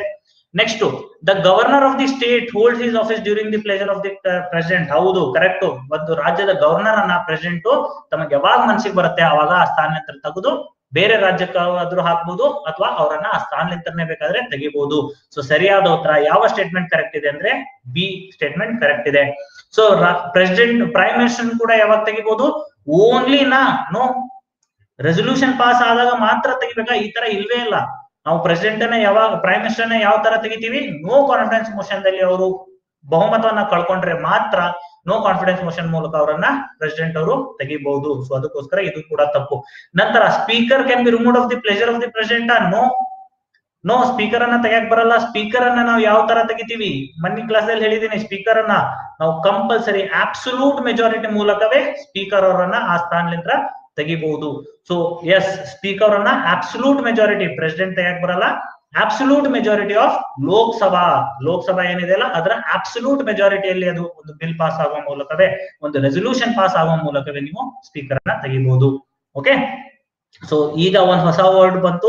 ಏನಪ್ಪಾ ಅದಂದ್ರೆ ಅಬ್ಸಲ್ಯೂಟ್ ಮೆಜಾರಿಟಿ ಸೊ ನಮ್ಮ ಸಂವಿಧಾನದಲ್ಲಿ ನಾವು ನಾಲ್ಕು ತರದ ಮೆಜಾರಿಟಿಯನ್ನ ನೋಡ್ತೀವಿ. ದಯವಿಟ್ಟು ಇದ್ರ ಬಗ್ಗೆ ನೀವು ಮಾಹಿತಿಯನ್ನ ಇಟ್ಕೊಂಡಿರ್ಬೇಕು. ಒಂದು ಸಿಂಪಲ್ ಮೆಜಾರಿಟಿ ಒಂದು ಸ್ಪೆಷಲ್ ಮೆಜಾರಿಟಿ ಒಂದು ಅಬ್ಸಲ್ಯೂಟ್ ಮೆಜಾರಿಟಿ ಇನ್ನೊಂದು ಇಫೆಕ್ಟಿವ್ ಮೆಜಾರಿಟಿ ಓಕೆ ಒಂದು ಸ್ಪೆಷಲ್ ಕ್ಲಾಸೇ ಮಾಡಿದೀನಿ, ನಾಲ್ಕು ತರದ ಮೆಜಾರಿಟಿಯನ್ನ ಎಕ್ಸ್ಪ್ಲೇನ್ ಮಾಡಿದೀನಿ, ಅದರ ಅರ್ಥ ಏನು? ಮತ್ತೆ ಅದು ನಮ್ಮ ಸಂವಿಧಾನದಲ್ಲಿ ಎಲ್ಲೆಲ್ಲಿ ಬಳಕೆ ಆಗುತ್ತೆ ಅಂತ ಹೇಳಿ ಹೇಳಿದೀನಿ ಓಕೆ ನೆಕ್ಸ್ಟ್ ಪ್ರಶ್ನೆ ಪ್ರಶ್ನೆಯನ್ನ ನೋಡಿ ಸಿಂಪಲ್ ಇದೆ, ದಯವಿಟ್ಟು ಕಾನ್ಸಂಟ್ರೇಟ್ ಕೊಡಿ. Which one of the following statement is not correct ಇದನ್ನ ಕೂಡ ಗಮನ ಕೊಡ್ಬೇಕು, ಅವನು ಏನ್ ಕೇಳ್ತಾ ಇದ್ದಾನೆ, ಯಾವ ಸ್ಟೇಟ್ಮೆಂಟ್ ಸರಿ ಇದೆ ಅಂತ ಕೇಳ್ತಾ ಇದ್ದಾನೋ, ಅಥವಾ ಯಾವ ಸ್ಟೇಟ್ಮೆಂಟ್ ತಪ್ಪಿದೆ ಅಂತ ಹೇಳಿ ಕೇಳ್ತಾ ಇದ್ದಾನೆ ಅದನ್ನ ಕೂಡ ಗಮನ ಕೊಡಬೇಕು okay first there shall be a council of ministers headed by the prime minister to aid and advise the president who shall act in accordance with such advice ಏನಂದ ಈ ಒಂದನೇ ಸ್ಟೇಟ್ಮೆಂಟ್ ಅಲ್ಲಿ? ನೋಡಪ್ಪ ನಮ್ಮ ದೇಶದಲ್ಲಿ ರಾಷ್ಟ್ರಪತಿಗಳು ತಮ್ಮ ಕರ್ತವ್ಯಗಳನ್ನ ಮಾಡಕ್ಕೋಸ್ಕರ ಪ್ರತಿ ಅವ್ರು ಏನೋ ಒಂದು ಕೆಲಸವನ್ನು ಮಾಡ್ಬೇಕಂದ್ರೆ ಆ ಕೆಲಸವನ್ನು ಮಾಡಕ್ಕೋಸ್ಕರ ಅವರಿಗೆ ಒಬ್ರು ಏಡ್ ಅಂಡ್ ಅಡ್ವೈಸ್ ಸಲಹೆ ಕೊಡಕ್ಕೋಸ್ಕರ ಒಂದು ಮಂತ್ರಿಮಂಡಲ ಇರಬೇಕು. ಆ ಮಂತ್ರಿಮಂಡಲದ ಹೆಡ್ ಆಗಿ ನಮ್ಮ ಪ್ರೈಮ್ ಮಿನಿಸ್ಟರ್ ಅವರು ಇರಬೇಕು. ಇವ್ರು ಏನ್ ಸಲಹೆಯನ್ನ ಕೊಡ್ತಾರೆ? ಆ ಸಲಹೆ ಮೇರೆಗೆನೆ ಇವರು ಕೆಲಸವನ್ನ ಮಾಡ್ಬೇಕು ಅಂತೇಳಿ ಹೇಳ್ತಾ ಇದೆ. ಪ್ರೆಸಿಡೆಂಟ್ ಅವರು ಕೆಲಸವನ್ನ ಮಾಡ್ಬೇಕು. ಸೆಕೆಂಡ್ ಸ್ಟೇಟ್ಮೆಂಟ್ ಏನ್ ಹೇಳ್ತಾ ಇದೆ?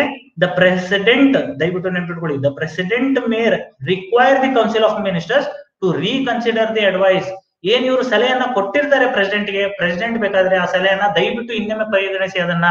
ಒಮ್ಮೆನೇ ನನಗೆ ಚರ್ಚೆ ಮಾಡ್ಕೊಟ್ರಲ್ಲ, ದಯವಿಟ್ಟು ಬಹಳ ಮಹತ್ವದ ಸಲಹೆ ಇದು. ಇದನ್ನ ಇನ್ನೊಮ್ಮೆ ಪರಿಗಣಿಸಿ ಅಂತ ಹೇಳ್ಬೇಕಾದ್ರೆ ವಾಪಸ್ ಕಳಿಸಬಹುದು ಅಂತ ಹೇಳಿ ಎರಡನೇ ಸ್ಟೇಟ್ಮೆಂಟ್ ಹೇಳ್ತಾ ಇದೆ.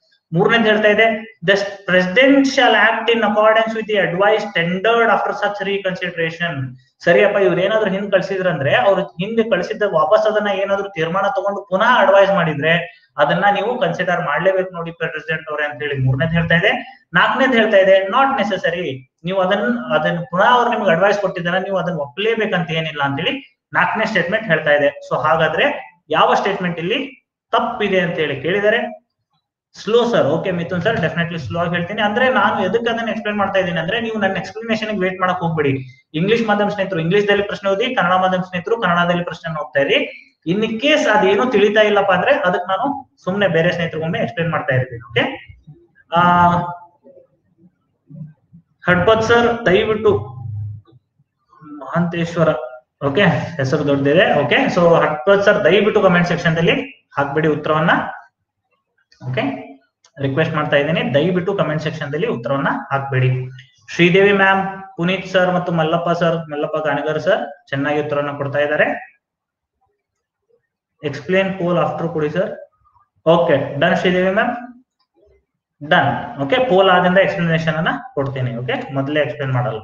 ಓಕೆ ಸೊ ಡನ್ ಸೊ ಈ ಪ್ರಶ್ನೆಗೆ ಸರಿಯಾದ ಉತ್ತರ ಏನಂದ್ರೆ ಎಸ್ ಡಿ ಈ ಪ್ರಶ್ನೆಗೆ ಸರಿ ಉತ್ತರ ಅಂದ್ರೆ ಈ ಸ್ಟೇಟ್ಮೆಂಟ್ ತಪ್ಪಿದೆ. ಯಾಕಂದ್ರೆ ಪ್ರಶ್ನೆ ಏನ್ ಕೇಳಿದೆ?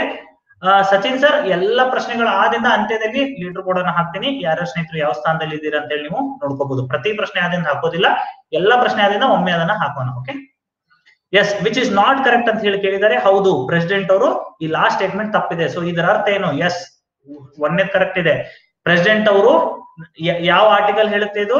ಆರ್ಟಿಕಲ್ ಯಾವ ಆರ್ಟಿಕಲ್ ಹೇಳುತ್ತೆ ಇದನ್ನು ಇದನ್ನ ನಮ್ಗೆ ಆರ್ಟಿಕಲ್ ನಂಬರ್ ಸೆವೆಂಟಿ ಫೋರ್ ಮತ್ತೆ ಎಸ್ ಸೆವೆಂಟಿ ಫೋರ್ ಇದನ್ನ ಹೇಳುತ್ತೆ. ರಾಜ್ಯ ಸರ್ಕಾರ ಡಿಸ್ಕಸ್ ಮಾಡೋದು ಬೇಡ. ಅದನ್ನ ರಾಜ್ಯ ಸರ್ಕಾರ ಬಂದಾಗ ಅದನ್ನ ಡಿಸ್ಕಸ್ ಮಾಡೋಣ ಓಕೆ ಎಲ್ಲವನ್ನ ಎಕ್ಸ್ಪ್ಲೇನ್ ಮಾಡ್ತಾ ಇದ್ದೀನಿ. ದಯವಿಟ್ಟು ನೋಡಿ ಮಾತೆ ಸರ್ ಸೊ ಎಸ್ ನಲವತ್ತ ಎಪ್ಪತ್ತಾರನೇ ಆರ್ಟಿಕಲ್ ಏನ್ ಹೇಳುತ್ತೆ ನಮ್ಗೆ ಅಂದ್ರೆ, ಹೌದಪ್ಪ, ಈ ದೇಶದಲ್ಲಿ ಪ್ರೆಸಿಡೆಂಟ್ ಅವ್ರು ಕೆಲಸ ಮಾಡೋಕ್ಕೋಸ್ಕರ ಅವ್ರಿಗೆ ಸಲಹೆ ಕೊಡ್ಬೇಕು. ಅವ್ರು ಕೇವಲ ಸಲಹೆ ಮೇರೆಗೆನೆ ಕೆಲಸ ಮಾಡ್ಬೇಕು. ಅನ್ಲೆಸ್ ಅಂಡ್ ಅಂಟಿಲ್ ಅದು ಅವರ ಡಿಸ್ಕ್ರಿಷನರಿ ಪವರ್ ಇಲ್ಲ ಅಂದ್ರೆ ಆ ಕೆಲಸವನ್ನ ಅವರು ಸಲಹೆ ತಗೊಂಡೇ ಮಾಡ್ಬೇಕು. ಹಾಗಾದ್ರೆ ಆ ಸಲಹೆ ಏಡ್ ಅಂಡ್ ಅಡ್ವೈಸ್ ಯಾರ್ದಿರ್ಬೇಕಂದ್ರೆ ನಮ್ಮ ಮಂತ್ರಿಮಂಡಲ ಏನಿದೆ, ಕೇಂದ್ರದ ಮಂತ್ರಿಮಂಡಲ, ಅವರ ನಾಯಕರಾದ ಪಿ ಎಂ ಅವರು ಇವ್ರ ಮಂತ್ರಿಮಂಡಲದ ಜೊತೆ ಚರ್ಚೆ ಮಾಡಿ ಅದೇನ್ ಸಲಹೆಯನ್ನ ಪ್ರೆಸಿಡೆಂಟ್ ಕೊಡ್ತಾರೆ, ಆ ಸಲಹೆ ಮೇರೆಗೆ ಅವ್ರು ಕೆಲಸ ಮಾಡ್ಬೇಕಂತ ಹೇಳಿ ಹೇಳುತ್ತೆ ನಮ್ಗೆ ಎಪ್ಪತ್ನಾಲ್ಕನೇ ಆರ್ಟಿಕಲ್ ಈಗ ನೆಕ್ಸ್ಟ್ ನಮ್ಗೆ ಪ್ರಶ್ನೆ ಬರುತ್ತೆ. ಇವರು ಕೊಟ್ಟ ಸಲಹೆಗೆ ನಾವು ಪ್ರೆಸಿಡೆಂಟ್ ಅವ್ರು ಬದ್ಧರಾಗ್ಬೇಕಾ ಅದನ್ನ ತಿರಸ್ಕಾರ ಮಾಡಬಹುದಾ ಸಲಹೆಯನ್ನ? ನೋ ಮಾಡಕ್ ಬರಲ್ಲ. ಅದ್ ಯಾರು ಹೇಳಿದಾರ ಅದನ್ನ? ನಾಲ್ವತ್ತೆರಡನೇ ಸಂವಿಧಾನ ತಿದ್ದುಪಡಿ ನೈನ್ಟೀನ್ ಸೆವೆಂಟಿ ಸಿಕ್ಸ್ ಏನ್ ಹೇಳುತ್ತೆ? Had has made this advice binding on the president no president ಅವ್ರು ನೀವು ತಿರಸ್ಕಾರ ಮಾಡಕ್ ಬರಲ್ಲ. ಈ ಈ ಮಂತ್ರಿ ಮಂಡಲ ಏನ್ ನಿಮ್ಗೆ ಸಲಹೆಯನ್ನ ಕೊಟ್ಟಿರುತ್ತೆ? ಅದಕ್ಕೆ ನೀವು ಬದ್ಧರಾಗಿರ್ಬೇಕು. ಆ ಸಲಹೆ ವಿರುದ್ಧವಾಗಿ ಕೆಲಸವನ್ನು ಮಾಡಕ್ ಬರಲ್ಲ. ಆ ಸಲಹೆ ತಿರಸ್ಕಾರ ಕೂಡ ನೀವು ಮಾಡಕ್ ಬರಲ್ಲ. ಪ್ರಿಯಾಂಕಾ ನಾನು ಬರ್ತೀನಿ. ಫೋರ್ಟಿ ಫೋರ್ತ್ ಏನ್ ಕೊಡ್ತಿದೆ ಅಂತ ಬರ್ತಿದ್ದೀನಿ ಓಕೆ ಸೊ ನಲವತ್ತೆರಡನೇ ಸಂವಿಧಾನ ಏನ್ ಮಾಡ್ತು? ಅದನ್ನ ಬದ್ಧರಾಗಿರ್ಬೇಕು ನೀವು. ಆ ಸಲಹೆ ಬದ್ಧರಾಗಿರ್ಬೇಕು ಅಂತ ಹೇಳಿ ಹೇಳುತ್ತೆ. So yes the president may next ಇದು the president shall act in accordance to the advice standard after reconsideration ಅಂತ ಬರುತ್ತಲ್ಲ? ಸೊ ಆಗ ಸಂವಿ, ನಲವತ್ತೆರಡನೇ ಸಂವಿಧಾನ ಹೇಳುತ್ತೆ, ನೋಡಪ್ಪ, ಈಗ ಅವ್ರೇನ್ ನಿನ್ ಸಲಹೆ ಕೊಡ್ತಾ ಇದಾರೆ? ಆ ಸಲಹೆಗೆ ನೀನು ಬದ್ಧನಾಗಿರ್ಬೇಕು. ಇನ್ ಕೇಸ್ ನಿನ್ಗೆ ಆ ಸಲಹೆ ಸರಿ ಇಲ್ಲ ಅನಿಸ್ತಾ ಇದೆ, ಅಥವಾ ಆ ಸಲಹೆ ಇನ್ನೊಮ್ಮೆ ಚರ್ಚೆ ಆಗ್ಬೇಕು ಅನಿಸ್ತಾ ಇದೆ ಅಂದ್ರೆ ಎಸ್ ಈಗ ನಿನ್ಗೆ ನಾಲ್ವತ್ನಾಲ್ಕನೇ ಸಂವಿಧಾನ ತಿದ್ದುಪಡಿ ಬರ್ತಾ ಇದೆ ನೈನ್ಟೀನ್ ಸೆವೆಂಟಿ ಏಟ್ ದಲ್ಲಿ. ಈದ ತಿದ್ದುಪಡಿ ಏನ್ ಹೇಳುತ್ತೆ ಅಂದ್ರೆ, ನೀ ಇದನ್ ಬೇಕಾದ್ರೆ ರೀಕನ್ಸಿಡರೇಷನ್ ಕಳಿಸ್ ಮಾರಾಯ. ನೀ ಬೇಕಾದ್ರೆ ಅದೇನಾದ್ರು ಸಲಹೆ ಸರಿ ಇಲ್ಲ ಅನಿಸ್ತಂದ್ರೆ ಇನ್ನೊಮ್ಮೆ ಪುನಃ ಚರ್ಚೆ ಮಾಡ್ರಪ್ಪ ಇದ್ರ ಬಗ್ಗೆ. ಸೊ ರೀಕನ್ಸಿಡರೇಷನ್ ಕೊಡೋ ಅಧಿಕಾರವನ್ನು ನಿನಗೆ ಪ್ರೆಸಿಡೆಂಟ್ ಅವರಿಗೆ ರೀಕನ್ ಈ ಸಲಹೆಯನ್ನ, ಈ ಏಡ್ ಅಂಡ್ ಅಡ್ವೈಸ್ ಅನ್ನ ರೀಕನ್ಸಿಡರೇಷನ್ ಕೊಡಕ್ಕೆ ನಲವತ್ನಾಲ್ಕನೇ ಸಂವಿಧಾನ ತಿದ್ದುಪಡಿ ಆ ಅಧಿಕಾರವನ್ನ ಪ್ರೆಸಿಡೆಂಟ್ ಕೊಡುತ್ತೆ. ಸೊ ನಂತರ ಇಲ್ಲೊಂದು ಕಂಡೀಷನ್ ಹಾಕಿದೆ ಪ್ರೆಸಿಡೆಂಟ್ ಅವರಿಗೆ. ನೀ ರೀಕನ್ಸಿಡರೇಷನ್ ಕಳಿಸ್ತೀಯಾ? ಬಟ್ ನೀ ರೀಕನ್ಸಿಡರೇಷನ್ ಕಳಿಸಿಂದ ಅವ್ರು ಏನ್ ತೀರ್ಮಾನ ತಗೊಂಡು ಪುನಃ ನಿನಗೆ ಸಲಹೆ ಕೊಡ್ತಾರೆ? ಆ ಸಲಹೆಗೆ ನೀನು ಬದ್ಧನಾಗಿ ಇರ್ಲೇಬೇಕು ಇದನ್ನ ಮತ್ತೆ ಇನ್ನೊಮ್ಮೆ ರೀಕನ್ಸಿಡರೇಷನ್ ಕೊಡಕ್ ಬರಲ್ಲ. ಇದನ್ನ ತಿರಸ್ಕಾರ ಮಾಡಕ್ ಬರಲ್ಲ. ಇನ್ ಶಾರ್ಟ್ ನೀನು ಕೊಟ್ಟ ಸಲಹೆಗೆ ಬೈಂಡಿಂಗ್ ಆಗಿರ್ಬೇಕು ಬದ್ಧನಾಗಿ ಇರ್ಲೇಬೇಕು ನಿನ್ ಬೇಕಂದ್ರೆ ನೀನು ಎಸ್ ಒನ್ಲಿ ಒನ್ ಟೈಮ್ ನೀನು ರೀಕನ್ಸಿಡರೇಷನ್ ಕಳಿಸಬಹುದು ನೀನು ನಾಲ್ವತ್ನಾಲ್ಕನೇ ಆರ್ಟಿಕಲ್ ನಾಲ್ವತ್ನಾಲ್ಕನೇ ಸಂವಿಧಾನ ತಿದ್ದುಪಡಿ, ಇದು ಆರ್ಟಿಕಲ್ ಅಲ್ಲ, ನಾಲ್ವತ್ನಾಲ್ಕನೇ ಸಂವಿಧಾನ ತಿದ್ದುಪಡಿ ಈ ಅಧಿಕಾರವನ್ನು ಕೊಡ್ತಾ ಇದೆ. ರೀಕನ್ಸಿಡರೇಷನ್ ಕೊಡಿಸು. ರೀಕನ್ಸಿಡರೇಷನ್ ಕೊಟ್ಟಿಂದ ಏನ್ ಅಡ್ವೈಸ್ ಬರುತ್ತೆ? ಅದಕ್ಕೆ ನೀನು ಬದ್ಧನಾಗಿ ಇರ್ಲೇಬೇಕು ಅಂತ ಹೇಳಿದೆ. ಸೊ ಇಲ್ಲಿ ನಾಲ್ಕನೇ ಸೆಂಟೆನ್ಸ್ ಏನ್ ಹೇಳ್ತಾ ಇದೆ?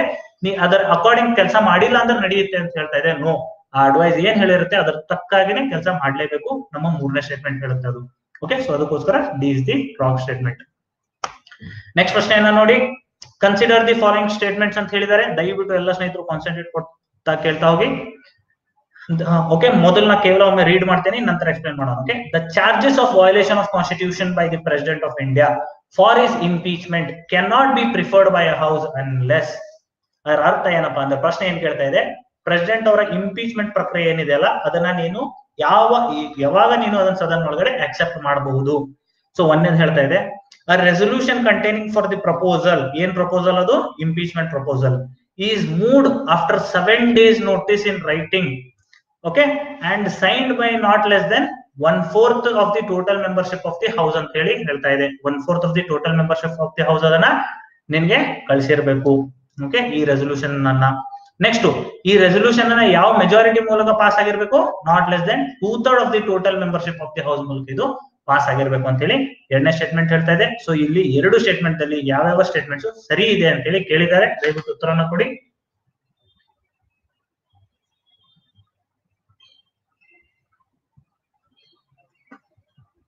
ಡನ್ ಯೂಸರ್ ಸರ್ ಬಹಳ ಸ್ಪೀಡ್ ಆಗ್ತಾ ಇದ್ರೆ ಕಡಿಮೆ ಮಾಡ್ತೇನೆ. ಡೆಫಿನೆಟ್ಲಿ ಸ್ಲೋ ಮಾಡೋಣ ಹಾಗಾದ್ರೆ. ನಾಟ್ ನೆಸೆಸರಿ ಸ್ಪೀಡ್ ಆಗಿ ಮಾಡೋದು ಬೇಡ. ಆರಾಮಾಗಿ ಸ್ಲೋ ಆಗಿ ದಯವಿಟ್ಟು ಕಾರ್ತಿಕ್ ಸರ್ ವಾಣಿ ಮ್ಯಾಮ್ ದಯವಿಟ್ಟು ಯಾರು ಕಮೆಂಟ್ ಸೆಕ್ಷನ್ ದಲ್ಲಿ ಉತ್ತರವನ್ನು ಹಾಕ್ಬೇಡಿ. ದಯವಿಟ್ಟು ರಿಕ್ವೆಸ್ಟ್ ಮಾಡ್ತಾ ಇದ್ದೀನಿ. ಓಕೆ ಇನ್ ಕೇಸ್ ನಿಮಗೆ ಸ್ಪೀಡ್ ಅನಿಸ್ತಾ ಇದ್ರೆ ಅಂದ್ರೆ ಡೆಫಿನೆಟ್ಲಿ ಸ್ಲೋ ಮಾಡೋಣ. ಆರಾಮಾಗಿ ಉತ್ತರವನ್ನು ಕೊಡಿ. Okay nothing to hurry okay slow ಮಾಡೋಣ. ನಥಿಂಗ್ ಟು ಹರಿ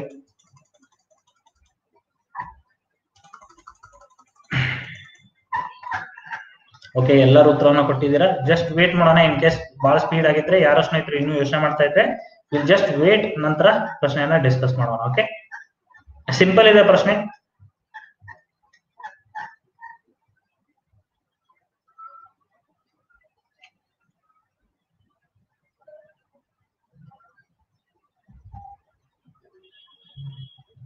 ಓಕೆ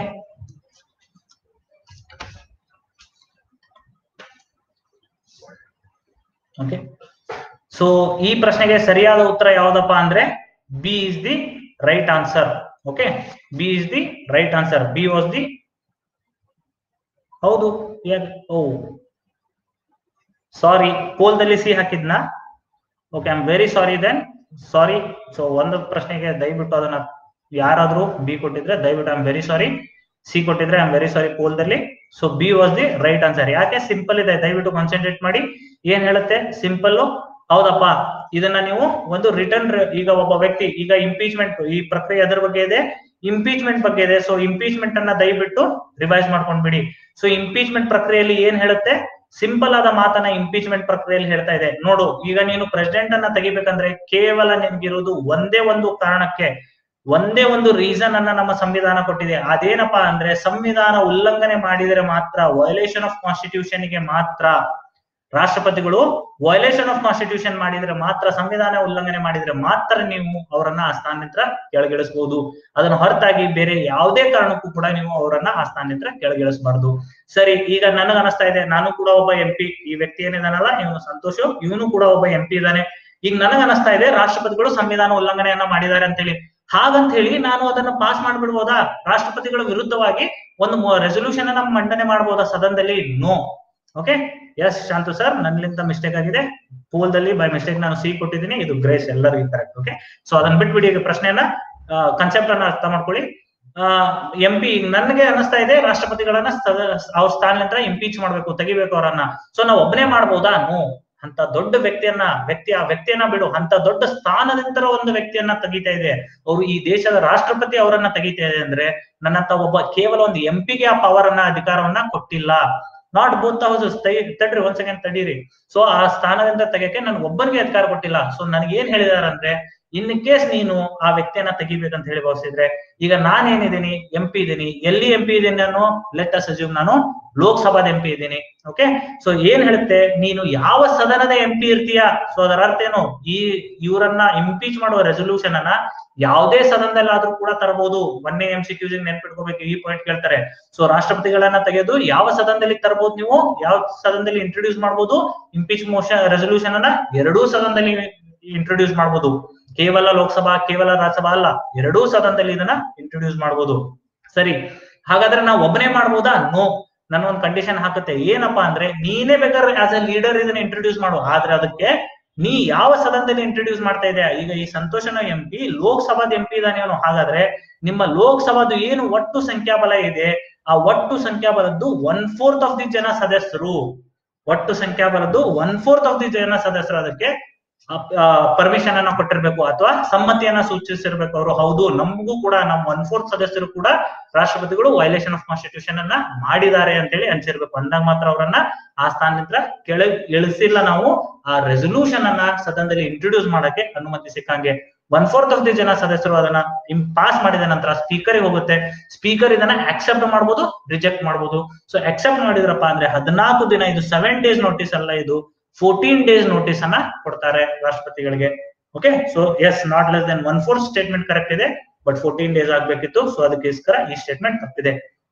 ನಂತರ ನಂತರ ಅದರ ಮೇಲೆ ಚರ್ಚೆ ಆಗುತ್ತೆ. ಈಗ ಅದನ್ನ ಸದನದಲ್ಲಿ ಪಾಸ್ ಮಾಡ್ಬೇಕು ನೀವು. ನೀವು ಎಲ್ಲಿ ಪಾಸ್ ಮಾಡ್ತಾ ಇದ್ರೀಗ ಲೋಕಸಭಾದಲ್ಲಿ ಇಂಟ್ರೊಡ್ಯೂಸ್ ಆಗಿದೆ. ಲೋಕಸಭಾದಲ್ಲಿ ಪಾಸ್ ಮಾಡ್ಬೇಕು.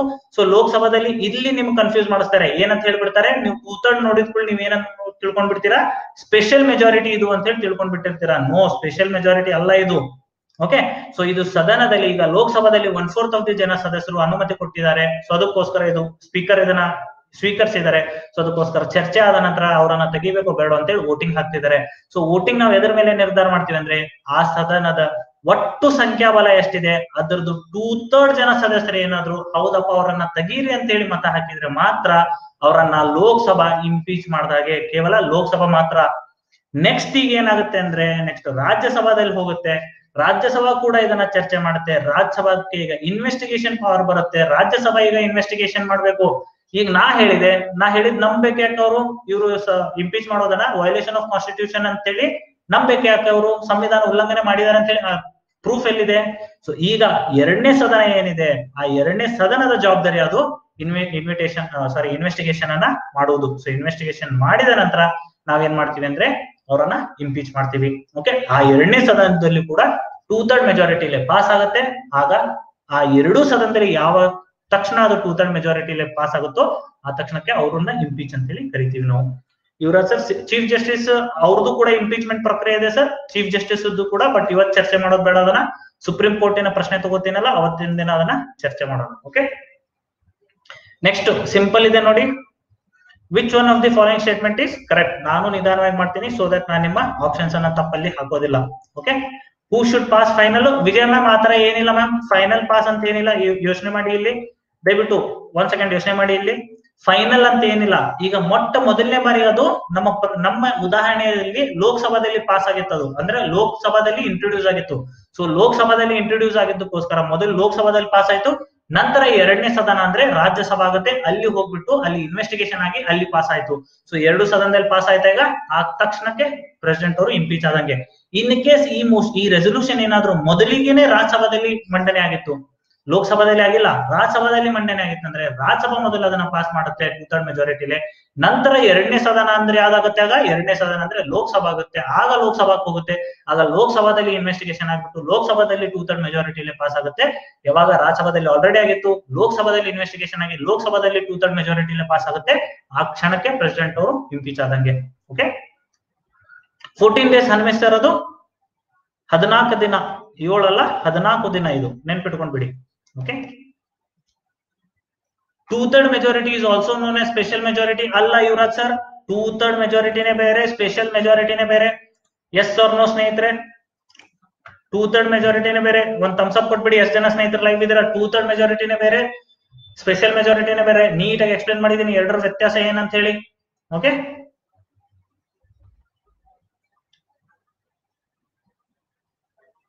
okay very good yes Archana ma'am with ಇದನ್ನ ಹೇಳಿದಾರೆ ನೋಡಿ.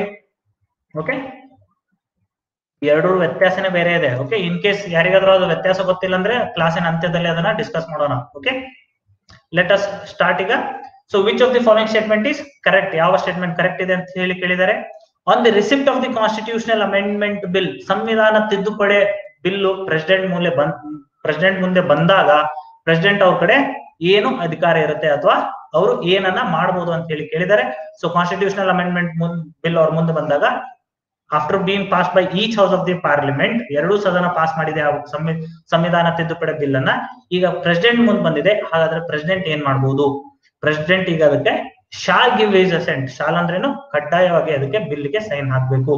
ಮೇ ಗಿವ್ ಹಿಸ್ ಅಸೆಂಟ್ ಆ ಬಿಲ್ಗೆ ಬೇಕಂದ್ರೆ ಸೈನ್ ಹಾಕ್ಬಹುದು ಬೇಡಂದ್ರೆ ಬಿಡಬಹುದು ಮೇ ವಿಥೋಲ್ಡ್ ಇಸ್ ಅಸೆಂಟ್ ನಾನು ಆ ಬಿಲ್ಗೆ ಸೈನ್ ಹಾಕೋದಿಲ್ಲ ನೋಡು ಅಂತೇಳಿ ಹಿಂಸರಿಬಹುದು ಅಥವಾ may return the bill for reconsideration ದಯವಿಟ್ಟು ಈ ಬಿಲ್ ಅನ್ನ ಪುನಃ ಚರ್ಚಿಸಿ ವಾಪಸ್ ಕಳಿಸಿ ಅಂತೇಳಿ ರೀಕನ್ಸಿಡರೇಷನ್ ಈ ಬಿಲ್ ಅನ್ನ ಕಳಿಸಬಹುದು ಓಕೆ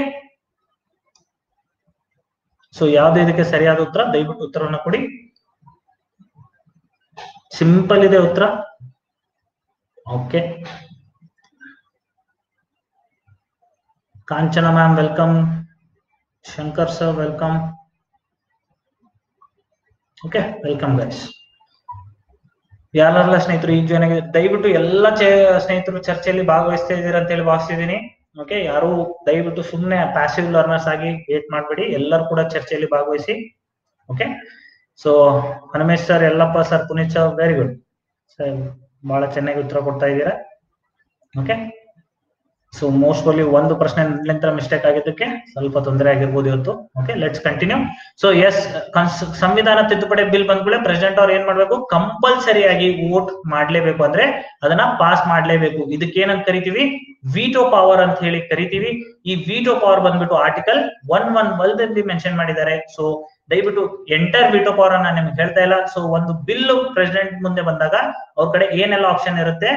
ಸೊ ಒಂದು ಅವರು ಬಿಲ್ ಅನ್ನ ಸೈನ್ ಹಾಕ್ಬೋದು, ಎರಡು ಅವ್ರ ಬಿಲ್ ಅನ್ನ ತಿರಸ್ಕಾರ ಮಾಡಬಹುದು ಅಥವಾ ಬಿಲ್ ಅನ್ನ ರೀಕನ್ಸಿಡರೇಷನ್ಗೆ ಕಳಿಸಬಹುದು ಇನ್ನೊಮ್ಮೆ ಚರ್ಚೆ ಮಾಡಿ ಅಂತೇಳಿ ಕಳಿಸಬಹುದು ಈಗ ಅದೇನಾದ್ರೂ ಆರ್ಡಿನರಿ ಬಿಲ್ ಇತ್ತಂದ್ರೆ, ಒಂದು ಸಾಧಾರಣ ಕಾನೂನು ಇತ್ತಂದ್ರೆ, ಆ ಬಿಲ್ ಅನ್ನ ಅವರು ಒಂದೆದ್ದು ಪಾಸ್ ಮಾಡಬಹುದು ರಿಜೆಕ್ಟ್ ಮಾಡಬಹುದು ಅಥವಾ ರೀಕನ್ಸಿಡರೇಷನ್ಗೆ ಕಳಿಸಬಹುದು ಒಂದೇನಾದ್ರೂ ಮನಿ ಬಿಲ್ ಅಂತ ಹೇಳಿ ಬರುತ್ತೆ ಓಕೆ ಮನಿ ಬಿಲ್ ಅಂತ ಹೇಳಿ ಬರುತ್ತೆ ಮನಿ ಬಿಲ್ ಬಂದಾಗ ಅದನ್ನ ಪಾಸ್ ಮಾಡಬಹುದು ಅಥವಾ ಆ ಬಿಲ್ ಅನ್ನ ಕ್ಯಾನ್ಸಲ್ ಮಾಡಬಹುದು ಆದ್ರೆ ರೀಕನ್ಸಿಡರೇಷನ್ ಮಾಡಕ್ ಬರುವುದಿಲ್ಲ.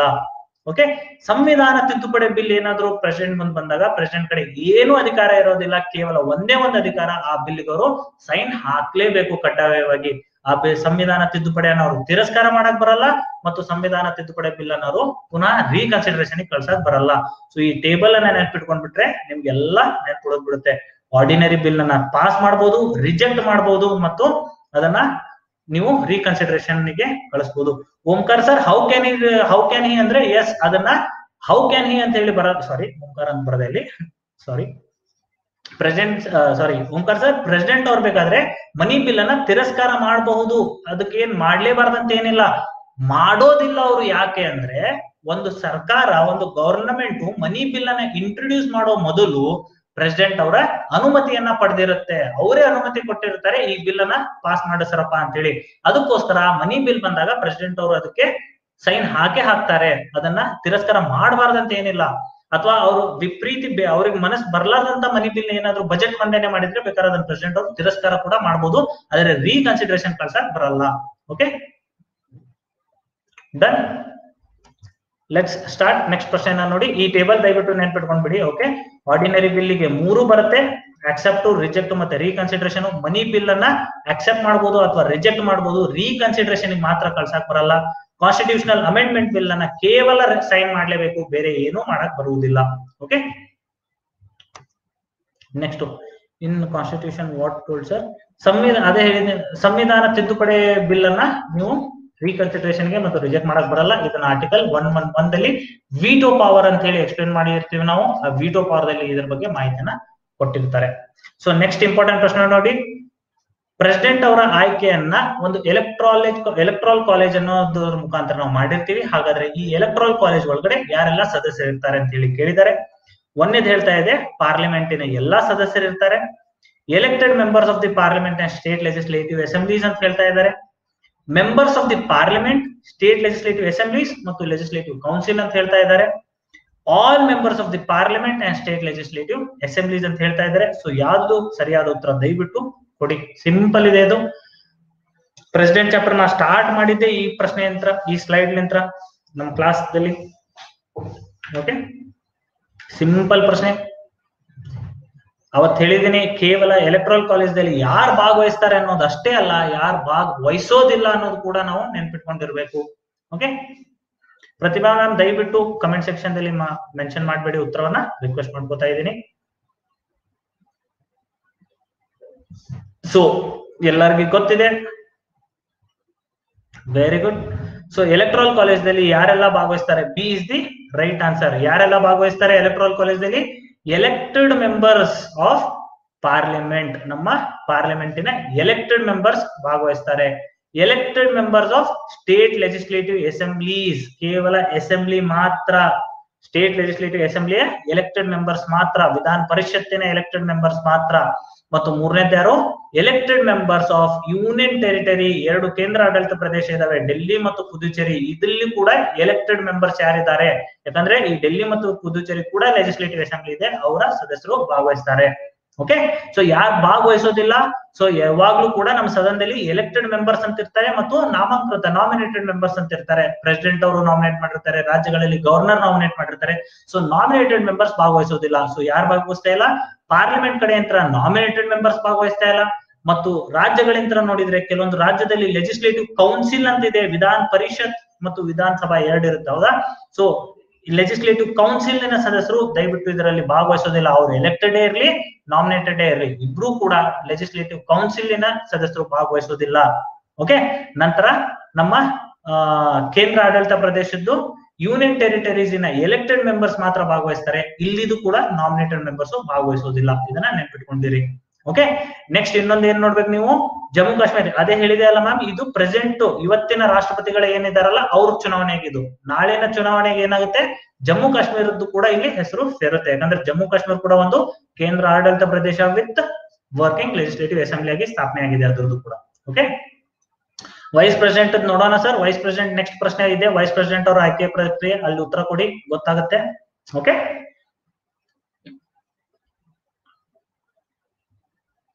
ಹೌದು Savitha ma'am okay next election yes Kanchana correct so assertion ಮತ್ತು ರೀಸನಿಂಗ್ ಪ್ರಶ್ನೆ ಕೇಳಿದರೆ ಸಿಂಪಲ್ ಇದೆ ನೋಡಿ. ಒಂದನೇ ಸ್ಟೇಟ್ಮೆಂಟ್ ಏನ್ ಹೇಳ್ತಾ ಇದ್ದಾನೆ ಅಂದ್ರೆ president is the part of the parliament okay ಪಾರ್ಲಿಮೆಂಟಿನ ಒಂದು ಭಾಗ ಇವರು, ಒಂದು ಅಂಗ ಇವರು ಅಂತ ಹೇಳಿ ಹೇಳ್ತಾ ಇದ್ದಾನೆ. ಒಂದು ಅಂಗ ಇವರು ಪಾರ್ಲಿಮೆಂಟಿನ ಒಂದು ಅಂಗ ಇವರು ಪ್ರೆಸಿಡೆಂಟ್ ಅವರು ಅಂತ ಹೇಳ್ತಾ ಇದ್ದಾನೆ. ಎರಡನೇ ರೀಸನ್ ಏನ್ ಹೇಳ್ತಾ ಇದ್ದಾನೆ ಅಂದ್ರೆ, ಯಾಕೆ ಈ ಸ್ಟೇಟ್ಮೆಂಟ್ ಅವನು ಮಾಡಿದ ಇದ್ದಾನ ಈ ಸ್ಟೇಟ್ಮೆಂಟ್ ಅನ್ನ ಮಾಡಿದ, ಅದಕ್ಕೆ ಕಾರಣ ಏನಪ್ಪಾ ಅಂದ್ರೆ ನೋಡಪ್ಪ ನಮ್ಮ ದೇಶದಲ್ಲಿ ಒಂದು ಬಿಲ್ಲು ಏನಾದ್ರೂ ಆಕ್ಟ್ ಆಗಿ ಈ ದೇಶದಲ್ಲಿ ಜಾರಿಗೆ ಬರ್ಬೇಕಂದ್ರೆ, ಒಂದು ಬಿಲ್ಲು ಕಾನೂನಾಗಿ ಈ ದೇಶದಲ್ಲಿ ಜಾರಿಗೆ ಬರ್ಬೇಕಂದ್ರೆ, ಅದು ಎರಡೂ ಸದನದಿಂದ ಪಾಸ್ ಆಗ್ಬೇಕು, ನಂತರ ರಾಷ್ಟ್ರಪತಿಗಳ ಕಡೆ ಸೈನ್ ಆಗ್ಬೇಕು ಅಂದಾಗ ಮಾತ್ರ ಅದು ಬಿಲ್ಲು ಕಾನೂನಾಗಿ ಆಕ್ಟ್ ಆಗಿ ಈ ದೇಶದಲ್ಲಿ ಬರುತ್ತೆ. ಓಕೆ ಸೊ ಅದಕ್ಕೋಸ್ಕರ ಏನ್ ಹೇಳಿದ ನಾನು?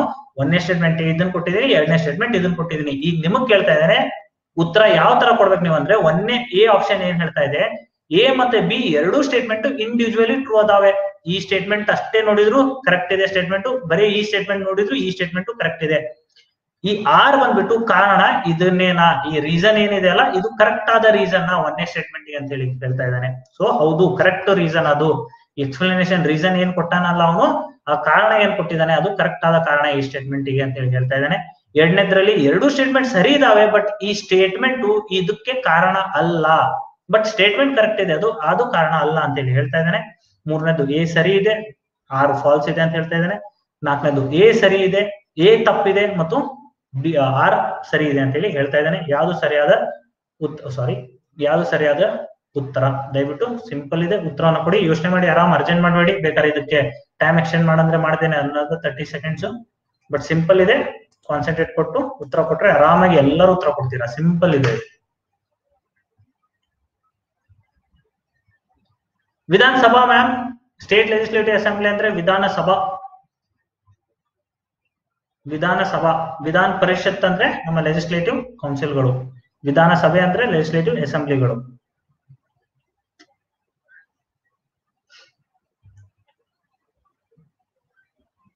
ಬೇಡ ಸರ್ ಡನ್ ಎಕ್ಸ್ಟೆಂಡ್ ಮಾಡಲ್ಲ. Yellappa sir Sridevi ma'am Puneeth sir excellent very good H Raj sir Preetham sir Vijaya ma'am ಯಾಕೆ ಬಹಳ ಜನ ಸ್ನೇಹಿತರು ಭಾಗವಹಿಸ್ತಿಲ್ಲ ಇವತ್ತಿನ ಕ್ಲಾಸ್ ವೈ ಓಕೆ ದಯವಿಟ್ಟು ಎಲ್ಲರೂ ಕೂಡ ಚರ್ಚೆಯಲ್ಲಿ ಭಾಗಾಗಿ ಸೊ ಸರಿಯಾದ ಉತ್ತರ ಯಾವ್ದಂದ್ರೆ ಎ ಬೋತ್ ಹೌದು.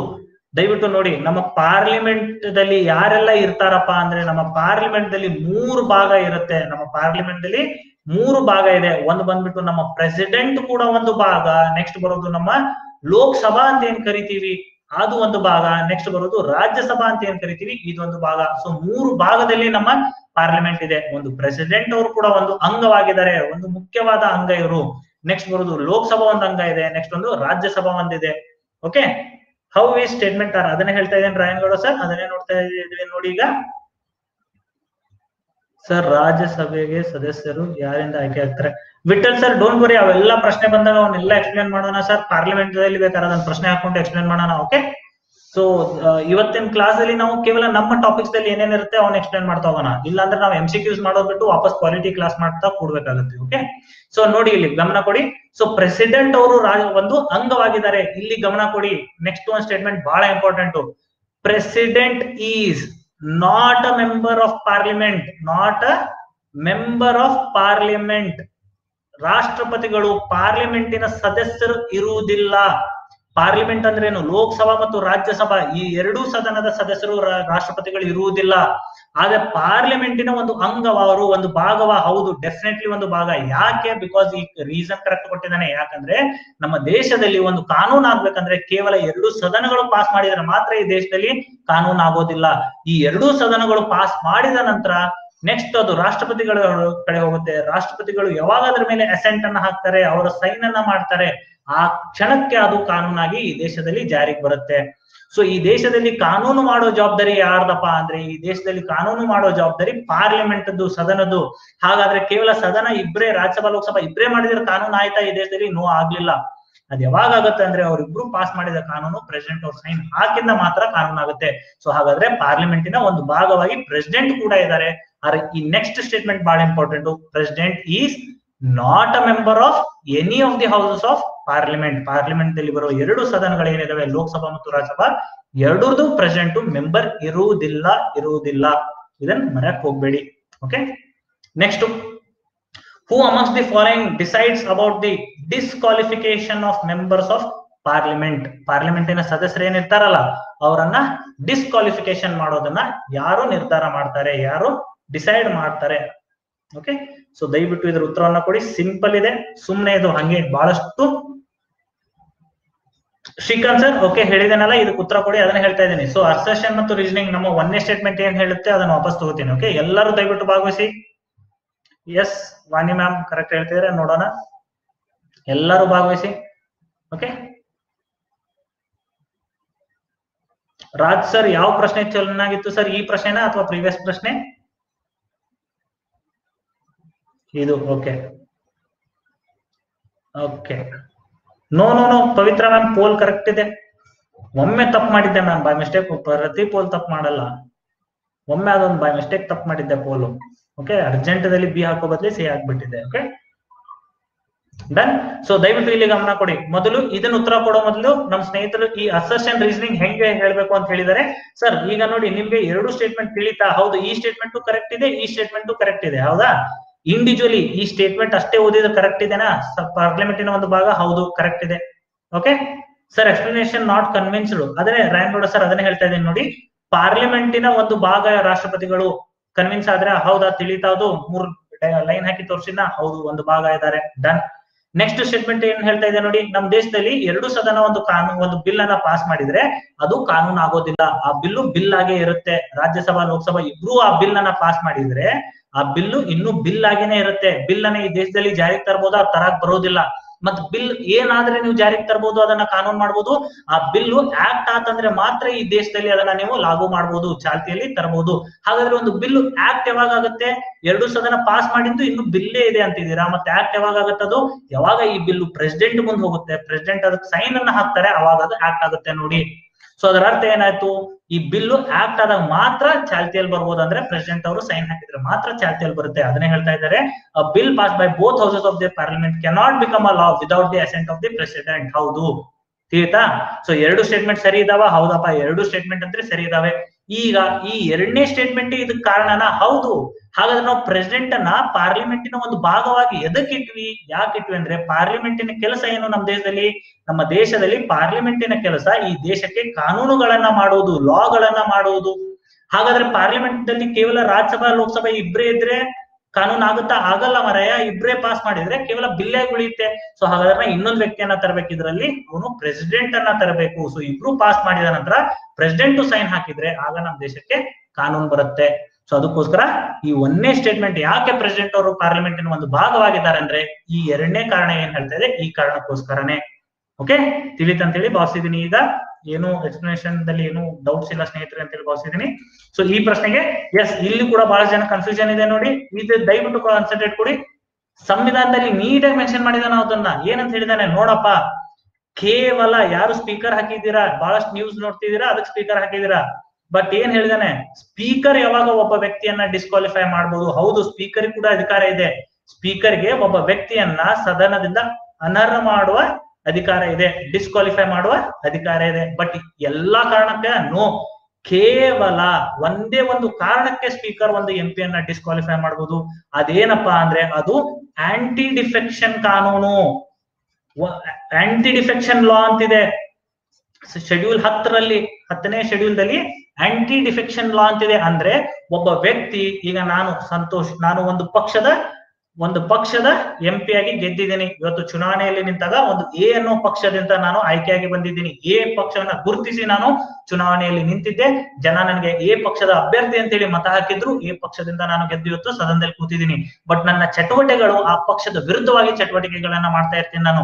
ಇನ್ನೊಂದು ಬಿ ಅನ್ನೋ ಪಕ್ಷ ಇರುತ್ತೆ, ಅದಕ್ಕೆ ಸಮ್ಮತಿ ಕೊಡುವ ರೀತಿಯಲ್ಲಿ ನಾನು ಕೆಲಸ ಮಾಡ್ತಾ ಇರ್ತೀನಿ. ಈಗ ಇದರ ಅರ್ಥ ಏನಂದ್ರೆ ಡಿಫೆಕ್ಟ್ ಮಾಡ್ತಾ ಇದ್ದೀನಿ ನಾನು. ನಾ ಯಾವ ಪಕ್ಷದಿಂದ ಆಯ್ಕೆಯಾಗಿ ಬಂದಿದ್ನೋ ಆ ಪಕ್ಷಕ್ಕೆ ವಿರುದ್ಧವಾಗಿ ಕೆಲಸ ಕಾರ್ಯಗಳಲ್ಲಿ ತೊಡಗ್ತಾ ಇದ್ರೆ ನಾನು ಅಪಕ್ಷಕ್ಕೆ ಪಕ್ಷಕ್ಕೆ ಧ್ರುವನ್ನ ಮಾಡ್ತಾ ಇದ್ದೀನಿ ಡಿಫೆಕ್ಷನ್ ಅನ್ನ ಮಾಡ್ತಾ ಇದ್ದೀನಿ. ಇಂಥ ವ್ಯಕ್ತಿಗಳನ್ನ ಸದನದಿಂದ ನಮ್ಮ ಎಂ ಪಿ ಸ್ಥಾನದಿಂದ ನೀವು ಡಿಸ್ಕ್ವಾಲಿಫೈ ಮಾಡಬಹುದು ಸದನದಿಂದ ಡಿಸ್ಕ್ವಾಲಿಫೈ ಮಾಡಬಹುದು ಸೊ ಕೇವಲ ಈ ತರ ಕೆಲಸದಲ್ಲಿ ಆಂಟಿ ಡಿಫೆಕ್ಷನ್ ಕಾರಣಕ್ಕೆ ನೀವೇನಾದ್ರೂ ಒಂದು ವ್ಯಕ್ತಿಯನ್ನ ಡಿಸ್ಕ್ವಾಲಿಫೈ ಮಾಡ್ಬೇಕಂದ್ರೆ ಆ ಕೆಲಸ, ಆ ಅಧಿಕಾರ ಆಗ ಮಾತ್ರ ಸ್ಪೀಕರ್ ಇರುತ್ತೆ. ಸೊ ಸ್ಪೀಕರ್ ಕೂಡ ಎಂ ಪಿಯನ್ನ ಡಿಸ್ಕ್ವಾಲಿಫೈ ಮಾಡ್ಬೋದಾ? ಎಸ್ ಮಾಡ್ಬೋದು. ಹಾಗಾದ್ರೆ ಯಾವ ಸಂದರ್ಭದಲ್ಲಿ ಮಾಡ್ಬೋದು? ಕೇವಲ ಆಂಟಿ ಡಿಫೆಕ್ಷನ್ ಕಾರಣದಿಂದ ಮಾತ್ರ ಸ್ಪೀಕರ್ ಅವರು ಒಂದು ವ್ಯಕ್ತಿಯನ್ನ ಡಿಸ್ಕ್ವಾಲಿಫೈ ಮಾಡ್ಬೋದು. ಇದನ್ನ ಹೊರತುಪಡಿಸಿಯಾಗಿ ಬೇರೆ ಯಾವುದೇ ಕಾರಣಕ್ಕೂ ಒಂದು ವ್ಯಕ್ತಿಯನ್ನ ಡಿಸ್ಕ್ವಾಲಿಫೈ ಮಾಡಿದ್ರೆ ಓಕೆ ಇದನ್ನ ಹೊರತುಪಡಿಸಿಯಾಗಿ ಬೇರೆ ಯಾವುದೇ ಕಾರಣಕ್ಕೂ ಒಂದು ವ್ಯಕ್ತಿಯನ್ನ ನೀವು ಡಿಸ್ಕ್ವಾಲಿಫೈ ಮಾಡ್ತಾ ಇದ್ರೆ ದೆನ್ ಆ ವ್ಯಕ್ತಿಯನ್ನ ಡಿಸ್ಕ್ವಾಲಿಫೈ ಮಾಡುವ ಅಧಿಕಾರ ಕೇವಲ ಪ್ರೆಸಿಡೆಂಟ್ ಕಡೆ ಇರುತ್ತೆ ಪ್ರೆಸಿಡೆಂಟ್ ಮಾತ್ರ ಆ ವ್ಯಕ್ತಿಯನ್ನ ಡಿಸ್ಕ್ವಾಲಿಫೈ ಮಾಡಬಹುದು ಬೇರೆ ಕಾರಣ ಬಹಳಷ್ಟು ದಿನ ಸದನಕ್ಕೆ ಹಾಜರಿಲ್ಲ ಅವನು, ಸದನಕ್ಕೆ ಬರ್ತಾನೆ ಇಲ್ಲ ಆಬ್ಸೆಂಟ್ ಉಳಿತಾ ಇರ್ತಾನೆ ಓಕೆ ಅಥವಾ ಅವನ ಡಿಸ್ಕ್ವಾಲಿಫಿಕೇಶನ್ ಯಾವ್ದಾದ್ರು ಒಂದು ಕೆಲಸ ಕಾರ್ಯಗಳಲ್ಲಿ ತೊಡೆದಿರ್ತಾನೆ, ಅದು ಇಲ್ಲಿಗಲ್ ಆಕ್ಟಿವಿಟಿ ಇರುತ್ತೆ. ಓಕೆ ಅಥವಾ ಅವನು ಆಫೀಸ್ ಆಫ್ ಪ್ರಾಫಿಟ್ ಅನ್ನು ಹೊಂದಿರ್ತಾನೆ. ಬೇರೆ ಯಾವುದೋ ಒಂದು ಟೆಂಡರ್ ಹಾಕ್ತಾ ಇರ್ತಾನೆ. ಅದು ಸರ್ಕಾರ ಅಂತ ಟೆಂಡರ್ ಬಯಸ್ತಾ ಇರ್ತಾನೆ ಅವನು. ಸರ್ಕಾರದ ಟೆಂಡರ್ ಅನ್ನ ತನ್ನ ಕಂಪ್ನಿಗೆ ಕೊಡಿಸ್ತಾ ಇರ್ತಾನೆ. ಅಥವಾ ದೊಡ್ಡ ಕರಪ್ಷನ್ ಪ್ರಾಕ್ಟೀಸ್ ದಲ್ಲಿ ತೊಡಗಿರ್ತಾನೆ ಈ ತರ ಯಾವ್ದೋ ಕಾರಣಕ್ಕೆ ಅವನು ಅವನನ್ನ ಡಿಸ್ಕ್ವಾಲಿಫೈ ಮಾಡ್ಬೇಕು ನಾವು. ಸೊ ಆ ಜವಾಬ್ದಾರಿ ಪ್ರೆಸಿಡೆಂಟ್ ಕಡೆ ಇರುತ್ತೆ. ಬಟ್ ಇಲ್ಲಿ ಗಮನ ಕೊಡಿ. ಇಲ್ಲಿ ಇನ್ನೊಂದ್ ನೆನ್ಪಿಡ್ಬೇಕು ಈದ್ ಬಂದ್ಬಿಟ್ಟು ದಿಸ್ ದಯವಿಟ್ಟು this is not an individual judgement ಇದು. ಪ್ರೆಸಿಡೆಂಟ್ ಅವರು ಏಕಾಂಗಿಯಾಗಿ ನಿರ್ಧಾರ ತಗೋತಿಲ್ಲ. ಇಲ್ಲಿ ಪ್ರೆಸಿಡೆಂಟ್ ಅವರು ಎಲೆಕ್ಷನ್ ಕಮಿಷನ್ ಅನ್ನ ಸಲಹೆ ಪಡಿಬೇಕು ಅಡ್ವೈಸ್ ಅನ್ನ ಪಡಿಬೇಕು. ಓಕೆ ಎಲೆಕ್ಷನ್ ಕಡೆ ಚರ್ಚೆ ಮಾಡ್ಬೇಕು. ನೋಡ್ರಪ್ಪ, ಈ ವ್ಯಕ್ತಿಯನ್ನ ಹಿಂಗ್ ಹಿಂಗ್ ಮಾಡಿದಾನೆ. ಸೊ ಈ ವ್ಯಕ್ತಿಯನ್ನ ಸ್ಥಾನದಿಂದ ಡಿಸ್ಕ್ವಾಲಿಫೈ ಮಾಡ್ತಾ ಇದ್ದೀನಿ. ನಿಮ್ಮ ಅಭ್ಯಂತರ ನಿಮ್ದೇನು ಅಭ್ಯಂತರ ಇಲ್ವಲ್ಲ? ಸೊ ಈ ವ್ಯಕ್ತಿಯನ್ನ ಸ್ಥಾನದಿಂದ ಡಿಸ್ಕ್ವಾಲಿಫೈ ಮಾಡಿದ ತಕ್ಷಣ ಸೀಟ್ ಖಾಲಿ ಉಳಿತೆ ಅಲ್ಲಿ ನೀವು ಬೈ ಎಲೆಕ್ಷನ್ ಮಾಡಕ್ ರೆಡಿ ಇದೀರಲ್ಲ ಈ ತರ ಎಲೆಕ್ಷನ್ ಕಮಿಷನ್ ಜೊತೆ ಚರ್ಚೆ ಮಾಡ್ಬಿಟ್ಟು ಆ ವ್ಯಕ್ತಿಯನ್ನ ಪ್ರೆಸಿಡೆಂಟ್ ಅವರು ತೆಗಿತಾರೆ. ಓಕೆ ನೆಕ್ಸ್ಟ್ ನೆಕ್ಸ್ಟ್ ಪ್ರಶ್ನೆಗೆ ಉತ್ತರ ಕೊಡಿ. ಸಿಂಪಲ್ ಇದೆ. Consider the following statements in respect of ordinance ಸುಗ್ರೀವಾಜ್ಞೆಯನ್ನ ಏನ್ ಹೊಡಿಸ್ತಾರಲ್ಲ ಅದ್ರ ಬಗ್ಗೆ ಕೇಳಿದ್ದಾರೆ promulgating an ordinance by the president of India during the recess of the parliament ಅಂದ್ರೆ ಪ್ರಶ್ನೆ ನನ್ನ ಬಹಳಷ್ಟು ಮಾಹಿತಿಯನ್ನ ಕೊಡ್ತಾ ಇದ್ದೇನೆ. ಎಂ ಎಲ್ ಎ ಬಗ್ಗೆ ತಲೆಗೆಡ್ಸ್ಕೋಬೇಡಿ. ಹೌದು ಎಂ ಎಲ್ ಎನ್ನು ಕೂಡ ಇದೇ ತರ ಡಿಸ್ಕ್ವಾಲಿಫೈ ಮಾಡಬಹುದು ಗವರ್ನರ್ ಮಾಡಬಹುದು ಸ್ಪೀಕರ್ ಮಾಡಬಹುದು ಅದನ್ನ ಎಂ ಎಲ್ ಎ ಚಾಪ್ಟರ್ ದಲ್ಲಿ ನೋಡೋಣ. ಪ್ರತಿ ಚಾಪ್ಟರ್ ಪ್ರಶ್ನೆ ನೋಡ್ತಾ ಇದೀವಲ್ಲ ಅದ ಪ್ರಶ್ನೆ ಬಂದಾಗ ಅದರ ಟಾಪಿಕ್ ಮೇಲೆ ನೋಡ್ತಾ ಹೋಗೋಣ. ಓಕೆ ಸೊ ಹೌದು, ಈ ಪ್ರಶ್ನೆ ನೋಡಿ, ಬಹಳಷ್ಟು ಮಾಹಿತಿಯನ್ನ ಕೇವಲ ಒಂದೇ ಎರಡು ಲೈನೇ ಕೊಟ್ಟಿದೆ. ಏನಂತ ಹೇಳಿದೆ ಹೌದು, ಈ ದೇಶದಲ್ಲಿ ಸುಗ್ರೀವಾಜ್ಞೆಯನ್ನ ಹೊರಡಿಸಬಹುದು ಯಾರು ಹೊರಡಿಸಬಹುದು ರಾಷ್ಟ್ರಪತಿಗಳು ಹೊರಡಿಸಬಹುದು ಮನಸ್ಸು ಬಂದಾಗ ಮಾಡಬಹುದಾ no only during the recess of the parliament ಏನಿದು? ಮೊನ್ನೆ ಪಾರ್ಲಿಮೆಂಟ್ ಚಾಪ್ಟರ್ ದಲ್ಲಿ ಪ್ರತಿಯೊಂದನ್ನ ಹೇಳಿದ್ದೀನಿ. ರಿಸೆಸ್ ಅಂದ್ರೇನು? ಸೆಷನ್ ಅಂದ್ರೇನು? ಸಿಟ್ಟಿಂಗ್ ಅಂದ್ರೇನು? ಎಲ್ಲವೂ ಗೊತ್ತಿರಬೇಕು ಓಕೆ ಸೊ ಸರಿಯಾದ ಉತ್ತರ ಯಾವುದು? Consider the following statement which one of the following is correct ಅಂತ ಕೇಳಿದ್ದಾರೆ. ಒಂದೇದೇನು? Such ordinance may be withdrawn any time by the president president ಅವರು ಯಾವುದೇ ಸಂದರ್ಭದಲ್ಲಿ ತಾವೇನ್ ಆರ್ಡಿನೆನ್ಸ್ ಅನ್ನ ಹೊಡೆಸ್ತಿರ್ತಾರೆ ಅದನ್ನ ಬೇಕಾದ್ರೆ ಹಿಂದ್ ಪಡಿಬಹುದು ಅಂತ ಹೇಳಿ ಒಂದನೇ ಸ್ಟೇಟ್ಮೆಂಟ್ ಹೇಳ್ತಾ ಇದೆ. ಎರಡನೇ ಸ್ಟೇಟ್ಮೆಂಟ್ ಹೇಳ್ತಾ ಇದೆ. Such an ordinance shall be laid before both the houses of the parliament ಎರಡು ಸದನ ಮುಂದೆ ಅದನ್ನು ಹಾಜರುಪಡಿಸಬೇಕು. And and shall cease to operate at the expire of six weeks from the reassembly of the parliament or before the period if this approved by both the houses of the parliament okay ನಾ ಇದನ್ನ explain ಮಾಡಲ್ಲ. ಸುಮ್ನೆ answer ಕೊಟ್ಬಿಡ್ತೀನಿ ನಾನು explain ಮಾಡಿದ್ರೆ ಅದಕ್ಕೆ ನೀವು ಮೊದಲು ಉತ್ತರ ಕೊಡಿ ನಂತರ ಅದನ್ನ ಬೇಕಾದ್ರೆ ಎಕ್ಸ್ಪ್ಲೇನ್ ಮಾಡೋಣ. ಪ್ರತಿಯೊಂದನ್ನ ಎರಡೂ ಭಾಷೆಯಲ್ಲಿದ್ದಾವೆ ದಯವಿಟ್ಟು ನೀಟಾಗಿ ತಗೊಂಡ್ಬಿಟ್ಟು ಅದನ್ನ ಉತ್ತರವನ್ನ ಕೊಡಿ. ಓಕೆ ದಯವಿಟ್ಟು ಕಮೆಂಟ್ ಸೆಕ್ಷನ್ ದಲ್ಲಿ ಉತ್ತರವನ್ನು ಹಾಕ್ಬೇಡಿ. ಶಿವು ಸರ್ ದಯವಿಟ್ಟು ಕಮೆಂಟ್ ಸೆಕ್ಷನ್ ದಲ್ಲಿ ಉತ್ತರವನ್ನು ಹಾಕ್ಬೇಡಿ. ಶಿವು ಸರ್ ಇನ್ನೊಮ್ಮೆ ಬೇಕಾದ್ರೆ ಉತ್ತರ ಕೊಡಿ. ಬಿ ತಪ್ಪಿದೆ ಉತ್ತರ. ಯಾರು ಸ್ನೇಹಿತರು ಬಿ ಕೊಡ್ತಾ ಇದ್ದೀರಾ? ಬಿ ತಪ್ಪಿದೆ. ಓಕೆ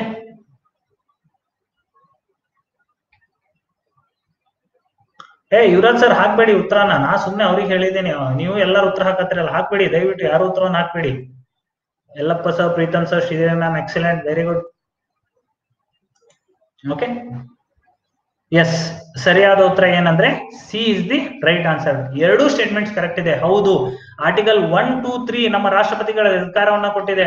ಓಕೆ ಪವಿತ್ರ ಮ್ಯಾಮ್ ಅದೇ ಹೇಳ್ತಾ ಇದೀನಿ ನೋಡಿ, ಅದನ್ನೇ ರಿಕ್ವೆಸ್ಟ್ ಮಾಡ್ತಾ ಇದ್ದೀನಿ. ದಯವಿಟ್ಟು ಕಮೆಂಟ್ ಸೆಕ್ಷನ್ ದಲ್ಲಿ ಯಾರು ಉತ್ತರವನ್ನು ಕೊಡಕ್ ಹೋಗ್ಬಿಡಿ. ಸೊ ದಯವಿಟ್ಟು ಕಾನ್ಸಂಟ್ರೇಟ್ ಕೊಡಿ ಇಲ್ಲಿ. ಹೌದು ಆರ್ಡಿನೆನ್ಸ್ ಪವರ್ ಎಲ್ಲಿದೆ? Ordinance making power article one two three ದಲ್ಲಿ ನಮ್ಮ ಸಂವಿಧಾನ ರಾಷ್ಟ್ರಪತಿಗಳಿಗೆ ಸುಗ್ರೀವಾಜ್ಞೆಯನ್ನು ಹೊರಡಿಸುವ ಅಧಿಕಾರವನ್ನ ಕೊಟ್ಟಿದೆ. ಯಾವ ಕಾರಣ ಕೊಟ್ಟಿದೆ, ಏನು ಅದೆಲ್ಲ ಬೇಡ. ಈಗ ಒಂದನೇ ಪಾಯಿಂಟ್ ಏನ್ ಹೇಳ್ತಾ ಇದೆ ಅಂದ್ರೆ ಎಸ್ ಈ ಸುಗ್ರೀವಾಜ್ಞೆಯನ್ನ ಅವ್ರು ಏನ್ ಅನೋ ಡಿಕ್ಲೇರ್ ಮಾಡಿರ್ತಾರೆ? ಸುಗ್ರೀವಾಜ್ಞೆ ಅಂದ್ರೆ ನಥಿಂಗ್ ಬಟ್ ಇದು ಯಾವ ತರ ಅಧಿಕಾರ? ಇದಕ್ಕೆ ಉತ್ತರನ ಕೊಡಿ. ಎಲ್ಲರೂ ಉತ್ತರ ಟೈಪ್ ಮಾಡಿ ಇದಕ್ಕೆ. ಆರ್ಡಿನೆನ್ಸ್ ಮೇಕಿಂಗ್ ಪವರ್ ಈಸ್ ಯಾವ ತರದ ಪವರ್ ಇದು? ಯಾವ ತರದ ಅಧಿಕಾರ ಇದು? ರಾಷ್ಟ್ರಪತಿಗಳ ಬಹಳಷ್ಟು ಅಧಿಕಾರ ಇದಾವೆ. ಲೆಜಿಸ್ಲೇಟಿವ್ ಪವರ್ ಇದೆ ಎಕ್ಸಿಕ್ಯೂಟಿವ್ ಪವರ್ ಇದೆ ಜುಡಿಷಿಯಲ್ ಪವರ್ ಇದೆ. ಏಳು ತರದ ಪವರ್ಸ್ ಅನ್ನ ನೋಡಿದೀವಿ ನಾವು. ಎಮರ್ಜೆನ್ಸಿ ಪವರ್ ಇದೆ ಮಿಲಿಟರಿ ಪವರ್ ಅಂತಿದೆ ಓಕೆ ಸೊ ಇದರಲ್ಲಿ ಸ್ಪೆಷಲ್ ಪವರ್ ಅಲ್ಲ. No yes yes it is the legislative power ಸ್ನೇಹಿತರೆ. Not executive power not judicial power executive power ಅಲ್ವೇ ಅಲ್ಲ ಇದು. ಲೆಜಿಸ್ಲೇಟಿವ್ ಪವರ್ ಇದು. ಓಕೆ ಕಾನೂನ್ ಮಾಡ್ತಾ ಇದ್ದಾರೆ. ಕಾನೂನ್ ಮಾಡೋದಂದ್ರೆ ಏನು ಕಾನೂನ್ ಮಾಡೋದಂದ್ರೆ ಲೆಜಿಸ್ಲೇಚರ್ ಅದು. ಲೆಜಿಸ್ಲೇಚರಿನ ಅಧಿಕಾರ ಅದು. ಸೊ ಅದನ್ನ ಪ್ರೆಸಿಡೆಂಟ್ ಮಾಡ್ತಾ ಇದ್ದಾರೆ ಅಂದ್ರೆ ಹಾಗೆ ಲೆಜಿಸ್ಲೇಚರ್ ಮಾಡುವ ಅಧಿಕಾರ ಪ್ರೆಸಿಡೆಂಟ್ ಇದೆ ಅದು ಎದರ ಮುಖಾಂತರ ಅಂದ್ರೆ ಆರ್ಡಿನೆನ್ಸ್ ಮಾಡುವ ಮುಖಾಂತರ. Simple as such okay pardoning power ಅಂತಿದೆ. ಕ್ಷಮಾಪಣೆ ಕೊಡುವ ಪವರ್ ಆದ ಎದರ್ ಪವರು ಪಾರ್ಡನಿಂಗ್ ಪವರ್ ಕ್ಷಮಿಸೋದಿದೆಯಲ್ಲ ಅದ್ ಯಾವ ತರಹದ ಪವರ್ ಅದು? ಈ ಏಳರಲ್ಲಿ ಎಕ್ಸಲೆಂಟ್ ಎಕ್ಸಿಕ್ಯೂಟಿವ್ ಪವರ್ ಅದು. ಹಾ, ಇಷ್ಟೇ ಟೈಪ್ ಮಾಡಿ ಸ್ನೇಹಿತರೆ, ಯಾಕಷ್ಟು ಕಷ್ಟಪಟ್ಟು ಫುಲ್ ಎಕ್ಸಿಕ್ಯೂಟಿವ್ ಅಂತ ಬರೀತೀರಾ? ಈ ಏನ್ ಟೈಪ್ ಮಾಡ್ಬಿಟ್ರೆ ಗೊತ್ತಾಗ್ಬಿಡುತ್ತೆ.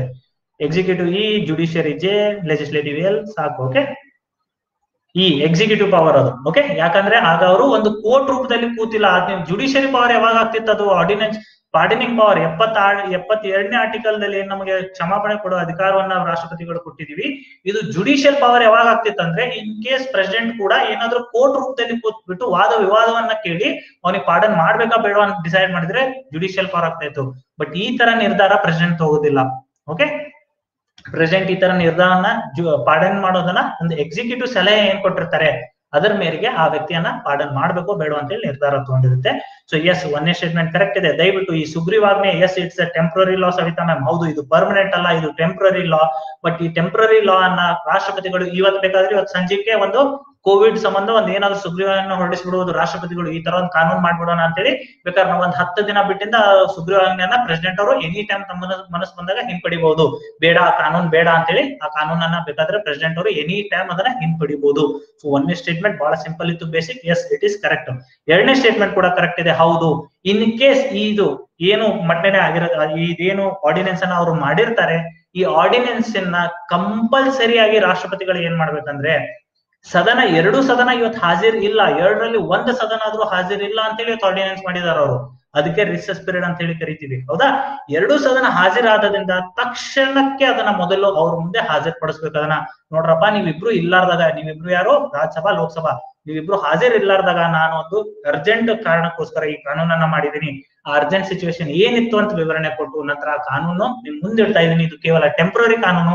ಇದನ್ನ ಪಾಸ್ ಮಾಡೋ ಮೂಲಕ ಇದಕ್ಕೆ ಅಪ್ರೂವಲ್ ಕೊಡೋ ಮೂಲಕ ದಯವಿಟ್ಟು ಇದನ್ನ ಪರ್ಮನೆಂಟ್ ಕಾನೂನು ಮಾಡಿ ಅಂತೇಳಿ ಸದನ ಮುಂದೆ ಇಡ್ತಾರೆ. ಸೊ ಆಗ ಸದನಕ್ಕೆ ಆರು ವಾರ ಅವಧಿ ಇರುತ್ತೆ. ಸಿಕ್ಸ್ ವೀಕ್ಸ್ ಸಿಕ್ಸ್ ವೀಕ್ಸ್ ಒಳಗಡೆ ಅದನ್ನ ಇತ್ಯರ್ಥಪಡಿಸ್ಬೇಕು. ಇದನ್ನ ನಾವು ಪಾಸ್ ಮಾಡ್ತೀವಾ ಇಲ್ಲ ರಿಜೆಕ್ಟ್ ಮಾಡ್ತೀವಾ? ಓಕೆ ಸೊ ಅದನ್ನ ಹೇಳಿದ್ದು expiry of six weeks in case ಆರು ಆರು ವಾರ ಒಳಗಡೆನೆ ಆ ಸದನ ಅದರ ಬಗ್ಗೆ ಏನಾದ್ರು ಡಿಸಿಷನ್ ಅನ್ನ ತಗೊಂಡಿಲ್ಲ ಅಂದ್ರೆ ಅದನ್ನ ತಿರಸ್ಕಾರ ಮಾಡ್ದಂಗೆ ಅದ್ರ ಆಪರೇಷನ್ ಬಂದ್ ಆಗುತ್ತೆ ಅದು ತಿರಸ್ಕಾರ ಆದಂಗೆನೆ. ಅಥವಾ ಅವರು ಮೊದಲನೇ ದಿನನೇ ಸದನ ಮುಂದೆ ಹಾಜರುಪಡಿಸಿದ ಮೊದಲನೇ ದಿನನೇ ತಿರಸ್ಕಾರ ಮಾಡಿದ್ರೆ ನೆಕ್ಸ್ಟ್ ಅದನ್ನ ಹೇಳ್ತಾ ಇದೆ or before the period if disapproved by both the houses ಮೊದಲನೇ ದಿನಾನೇ ಬೇಕಾದ್ರೆ ಅದನ್ನ ಡಿಸ್ಕ್ವಾಲಿಫೈ ಮಾಡ್ಬಿಡ್ಬೋದು. ಓಕೆ ಸೊ ಎರಡು ಸ್ಟೇಟ್ಮೆಂಟ್ ಕರೆಕ್ಟ್ ಇತ್ತು. ಲಾಸ್ಟ್ ಪ್ರಶ್ನೆಗೆ ಉತ್ತರ ಕೊಡಿ. ವೈಸ್ ಪ್ರೆಸಿಡೆಂಟ್ ಮೇಲೆ ಇದೆ ನೋಡಿ. the constitution of India provides that the vice president of India shall be the ex officio chairman of the council of the states simple ಪ್ರಶ್ನೆ chairman ಇರ್ತಾರ ಇವರು okay next the constitution of India ಇದನ್ನ next ಇದನ್ನ next ಸ್ವಲ್ಪ ಗಮನ ಕೊಡಿ the constitution of India has not fixed any emoluments for the okay has not fix any emoluments for the vice president of India in that capacity Okay so ಇದರಲ್ಲಿ ಯಾವ ಯಾವ statements ಸರಿ ಇದೆ ಅಂತ ಹೇಳಿ ಕೇಳಿದ್ದಾರೆ. ದಯವಿಟ್ಟು ಉತ್ತರನ ಕೊಡಿ. ಹಾ, ಸವಿತಾ ಮ್ಯಾಮ್ ಹೌದು. ಮಂತ್ರಿಮಂಡಲ ಸಲಹೆ ಮೇರೆಗೆ ಆರ್ಡಿನೆನ್ಸ್ ಸುಗ್ರೀವಾಜ್ಞೆ ಮಾಡುವುದು ಪ್ರೆಸಿಡೆಂಟ್ ಅವರ ಡಿಸ್ಕ್ರಿಷನರಿ ಪವರ್ ಅಲ್ಲ. ಇದನ್ನು ಕೂಡ ಅವರು ರಾಷ್ಟ್ರಪತಿಗಳ ಸಾರಿ ಮಂತ್ರಿಮಂಡಲದ ಸಲಹೆ ಮೇರೆಗೆನೆ ಮಾಡಬೇಕು. Okay Omkara sir six months validity ಏನಂದ್ರೆ ಆ ಸದನ ಮ್ಯಾಕ್ಸಿಮಮ್ ಹಾಜರಾಗೋದು ಎಷ್ಟು? ಲೆಟಸ್ ಅಸ್ಯೂಮ್ ಈ ಪ್ರಶ್ನೆಗೆ ನೀವು ಉತ್ತರ ಕೊಡ್ತಾ ಇರಿ. ಆ ಬೇರೆ ಉತ್ತರನ ತೋರ್ತಾ ಇದೀನಿ ಮ್ಯಾಕ್ಸಿಮಮ್ ಅವಧಿ ಎಷ್ಟಪ್ಪ ಆರ್ಡಿನೆನ್ಸ್ ಅಂದ್ರೆ six months and six weeks okay ಅಂದ್ರೆ ಏಳುವರೆ ತಿಂಗಳಾಯ್ತು ಆಲ್ಮೋಸ್ಟ್ ಅಲ್ಲ, ಏಳುವರೆ ತಿಂಗಳಾಗಲ್ಲ. ಹೌದು six months and six weeks ಅಂದ್ರೆ ಆಲ್ಮೋಸ್ಟ್ ಏಳುವರೆ ತಿಂಗಳಾಯ್ತು. ಯಾಕೆ six month six weeks because ಒಂದು ಸದನ ರಿಸರ್ಚ್ ದಲ್ಲಿ ಇರೋದು ಮ್ಯಾಕ್ಸಿಮಮ್ ಅವಧಿ ಎಷ್ಟು? ನಮ್ಮ ಸಂವಿಧಾನದ ಪ್ರಕಾರ ಮ್ಯಾಕ್ಸಿಮಮ್ ಸದನ ರಿಸರ್ಚ್ ದಲ್ಲಿ ಇರೋದು ಆರು ತಿಂಗಳ ಮಾತ್ರ. ಆರ್ ತಿಂಗಳ ಮೇಲೆ ಒಂದು ದಿನ ಕೂಡ ನಮ್ ಸದನ ರಿಸರ್ಚ್ ದಲ್ಲಿ ಇರಕ್ ಬರುವುದಿಲ್ಲ. ಸೊ ಮ್ಯಾಕ್ಸಿಮಮ್ ರಿಸರ್ಚ್ ದಲ್ಲಿ ನಮ್ ಸದನ ಇರೋದು ಆರ್ ತಿಂಗಳು ಇರುತ್ತೆ. ನಂತರ ಸದನ ಹಾಜರಾದಿಂದ ಇರುತ್ತೆ ಅವಧಿ ಒಂದೂವರೆ ವಾರ, ಒಂದ್ ಆರು ವಾರ ಇರುತ್ತೆ. ಸೊ ಮ್ಯಾಕ್ಸಿಮಮ್ ಒಂದು ಆರ್ಡಿನೆನ್ಸ್ ಮಾಡಿದ್ರೆ ಆರ್ ತಿಂಗಳ, ಆರು ವಾರ ಅದಕ್ಕೆ ಅವಧಿ ಇರುತ್ತೆ. ಓಕೆ ಎಸ್ ಸಂವಿಧಾನ ಸವಿತಾ ಮ್ಯಾಮ್ ಕರೆಕ್ಟ್ ಸಂವಿಧಾನ ಹೇಳಿದೆ. ಮ್ಯಾಕ್ಸಿಮಮ್ ಮಿನಿಮಮ್ ಆದ್ರೂ ನೀವು ಒಂದು ವರ್ಷದಲ್ಲಿ ಎರಡು ಬಾರಿ ಹಾಜರಾಗ್ಬೇಕಂತ ಹೇಳಿ ಹೇಳಿದೆ. ಸರ್ ಒಂದು ಸದನ ಇರೋದು ಆರ್ಡಿನೆನ್ಸ್ ಹೊರಡಿಸಬಹುದಲ್ವಾ? ಇಲ್ಲ ಸರ್ ಹಾ, ರಘು ಸರ್ ಕರೆಕ್ಟ್ ಒಂದೇ ಸದನ ಹಾಜರಿತ್ತಂದ್ರೂ ಆರ್ಡಿನೆನ್ಸ್ ಹೊರಡಿಸಬಹುದು. ಯಾಕಂದ್ರೆ ಎರಡೂ ಸದನ ಹಾಜರಿದ್ರೆ ಆರ್ಡಿನೆನ್ಸ್ ಅನ್ನ ಹೊರಡ್ಸಕ್ ಬರಲ್ಲ. ಎರಡರಲ್ಲಿ ಒಂದು ಸದನ ಆದ್ರೂ ಆಬ್ಸೆಂಟ್ ಇತ್ತು, ಅಥವಾ ಎರಡು ಸದನ ಇವತ್ತು ದಲ್ಲಿ ಇತ್ತು ಅಂದ್ರೆ ದೆನ್ ಡೆಫಿನೆಟ್ಲಿ ಆರ್ಡಿನೆನ್ಸ್ ಅನ್ನ ಮಾಡಬಹುದು ಅಥವಾ ಒಂದೇ ಸದನ ಹಾಜರಿಲ್ಲ ಅಂದ್ರೂ ಕೂಡ ನೀವು ಆರ್ಡಿನೆನ್ಸ್ ಅನ್ನ ಮಾಡಬಹುದು ಯಾಕೆ? ಬಿಕಾಸ್ ನಮ್ಮ ದೇಶದಲ್ಲಿ ಕಾನೂನು ಆಗ್ಬೇಕಂದ್ರೆ ಎರಡೂ ಸದನ ಪಾಸ್ ಮಾಡಿದ್ರೆ ಮಾತ್ರ ಕಾನೂನು ಆಗುತ್ತೆ. ಎರಡರಲ್ಲಿ ಒಂದು ಸದನವನ್ನು ಹಾಜರಿಲ್ಲ ಅಂದ್ರೆ ದೆನ್ ಡೆಫಿನೆಟ್ಲಿ ನೀವು ಆರ್ಡಿನೆನ್ಸ್ ಅನ್ನ ಮಾಡಬಹುದು ಓಕೆ ಸೊ ಈ ಪ್ರಶ್ನೆಗೆ ಸರಿಯಾದ ಉತ್ತರ ಏನಪ್ಪಾ ಅಂದ್ರೆ, ಈ ಪ್ರಶ್ನೆಗೆ ಸರಿಯಾದ ಉತ್ತರ ಎಸ್ ಯಾರು? ಬೋತ್ ಒನ್ ಅಂಡ್ ಟು ಹಾಕಿದ್ರೆ ಅದು ಸರಿಯಾದ ಉತ್ತರ. ಇದಾದ್ರೆ ಇನ್ನೊಂದು ಪ್ರಶ್ನೆಯನ್ನ ತಗೊಂಡ್ಬಿಡೋಣ. ಹೌದು ವೈಸ್ ಪ್ರೆಸಿಡೆಂಟ್ ಅವರು ರಾಜ್ಯಸಭಾದ ಎಕ್ಸ್ ಆಫೀಸ್ ಚೇರ್ಮನ್ ಇರ್ತಾರೆ. ದಯವಿಟ್ಟು ಇದನ್ನ ನೆನ್ಪಿಟ್ಕೊಳ್ಳಿ. ವೈಸ್ ಪ್ರೆಸಿಡೆಂಟ್ ಸ್ಥಾನಕ್ಕೆ ನಮ್ಮ ದೇಶದಲ್ಲಿ ಏನು ಸ್ಯಾಲ್ರಿ ಆಗ್ಲಿ ಎಮ್ಯೂಲ್ಮೆಂಟ್ಸ್ ಆಗ್ಲಿ ಪ್ರಿವಿಲೇಜಸ್ ಇಲ್ಲ. ನಾವು ವೈಸ್ ಪ್ರೆಸಿಡೆಂಟ್ ಅವ್ರಿಗೆ ಇಷ್ಟು ಒಂದ್ ರೂಪಾಯಿ ನೋಡಪ್ಪ ಸ್ಯಾಲ್ರಿ ಅಂತ ಹೇಳಿ ಕೊಡ್ತಾ ಇಲ್ಲ. ಓಕೆ ನಾಲ್ಕು ಲಕ್ಷನ ತಗೊಳ್ಳಿ ನಾಲ್ಕು ಲಕ್ಷ ರೂಪಾಯಿ ನೋಡಪ್ಪ ವೈಸ್ ಪ್ರೆಸಿಡೆಂಟ್ ಅವ್ರಿಗೆ ಸ್ಯಾಲ್ರಿ ಅಂತ ಹೇಳಿ ವೈಸ್ ಪ್ರೆಸಿಡೆಂಟ್ ಏನೂ ಪಗಾರವನ್ನ ನಾವು ನಮ್ಮ ದೇಶದಲ್ಲಿ ಕೊಡ್ತಾ ಇಲ್ಲ. ಹಾಗಾದ್ರೆ ವೈಸ್ ಪ್ರೆಸಿಡೆಂಟ್ ಪುಕ್ಸಟ್ಟೆ ಕೆಲಸ ಮಾಡ್ತಾ ಇದ್ದಾರಾ? ನೋ, ಯಾರು ಮಾಡ್ತಾರೆ? ಸೊ ಇವ್ರಿಗೆ ಕೂಡ ಸ್ಯಾಲ್ರಿ ಇದೆ ಬಟ್ ಆ ಸ್ಯಾಲ್ರಿ ಏನು ಅಂದ್ರೆ ವೈಸ್ ಪ್ರೆಸಿಡೆಂಟ್ ಅವ್ರಿಗೆ? ಅವ್ರು ಏನು ರಾಜ್ಯಸಭಾ ಚೇರ್ಮನ್ ಆಗಿ ಸೇವೆ ಮಾಡ್ತಾ ಇದ್ದಾರೆ. ಸೊ ರಾಜ್ಯಸಭಾ ಚೇರ್ಮನ್ ಆಗಿ ಅವರು ಪ್ರತಿ ವರ್ಷ, ಪ್ರತಿ ತಿಂಗಳು ನಾಲ್ಕು ಲಕ್ಷ ರೂಪಾಯಿ ದುಡ್ಡನ್ನ ಪಡಿತಾ ಇರ್ತಾರೆ ಸ್ಯಾಲ್ರಿ ಆಗಿ. ಸೊ ವೈಸ್ ಪ್ರೆಸಿಡೆಂಟ್ ಸ್ಥಾನಕ್ಕೆ ಏನು ಸ್ಯಾಲ್ರಿ ಇಲ್ಲ, ಬದಲಾಗಿ ರಾಜ್ಯಸಭಾ ಚೇರ್ಮನ್ ಆಗಿ ಅವ್ರಿಗೆ ಸ್ಯಾಲ್ರಿ ಸಿಗ್ತಾ ಇರುತ್ತೆ. ಓಕೆ ಇದನ್ನ ನೆನ್ಪಿಟ್ಕೊಂಡಿರಿ. ಸೊ ಲಾಸ್ಟ್ ಪ್ರಶ್ನೆ ನೋಡಿ ಇದು. ವೈಸ್ ಪ್ರೆಸಿಡೆಂಟ್ ಆಯ್ಕೆ ಯಾವ ತರ ಆಗಿತ್ತು ಅಂತ ಹೇಳಿ ಕೇಳಿದ್ರಲ್ಲ? ಸೊ ಹಾಗಾದ್ರೆ ವೈಸ್ ಪ್ರೆಸಿಡೆಂಟ್ ಅವರ ಎಲೆಕ್ಟ್ರಲ್ ಕಾಲೇಜ್ ಅಲ್ಲಿ ಯಾರೆಲ್ಲ ಸದಸ್ಯರು ಇರ್ತಾರೆ ಅಂತ ಹೇಳಿ ಕೇಳಿದ್ದಾರೆ.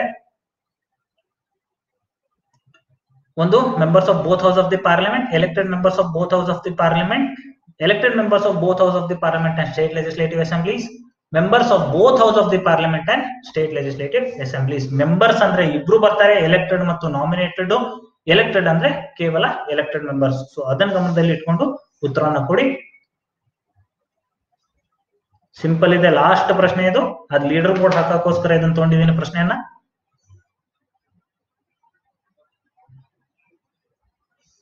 ಟೂ ಟೈಮ್ಸ್ ಆರ್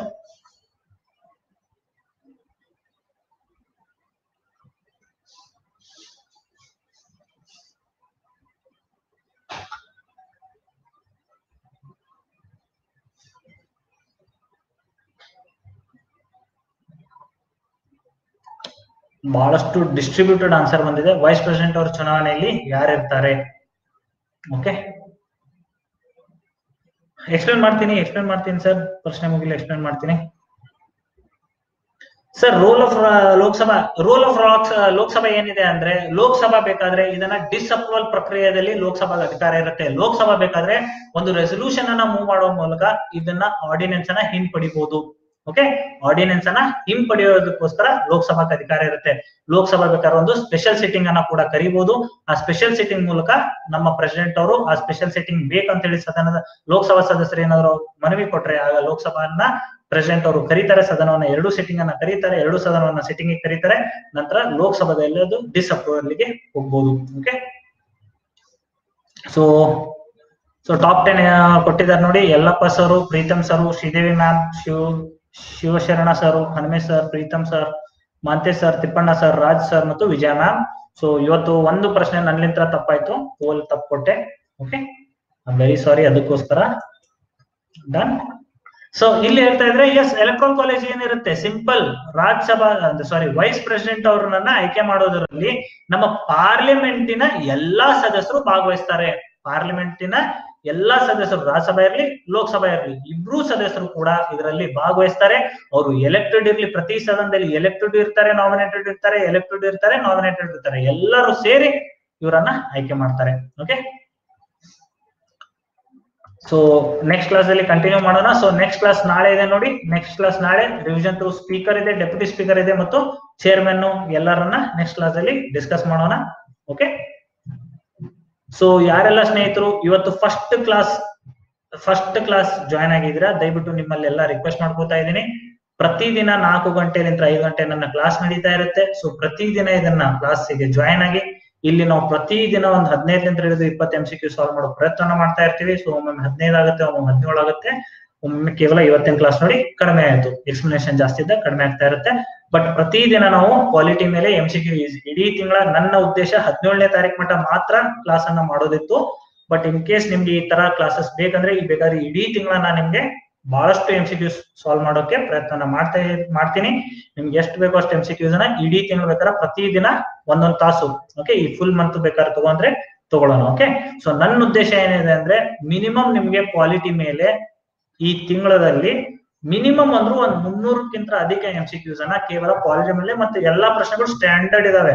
ಸೊ ನೀವು ನನ್ನ ಪ್ರಶ್ನೆಗಳ ಮೇಲೆ ನೀವು ಗಮನ ಕೊಟ್ಟಿದ್ರೆ ನಾನು ಇಂಥ ಪ್ರಶ್ನೆಯನ್ನ ಹಾಕಿಲ್ಲ.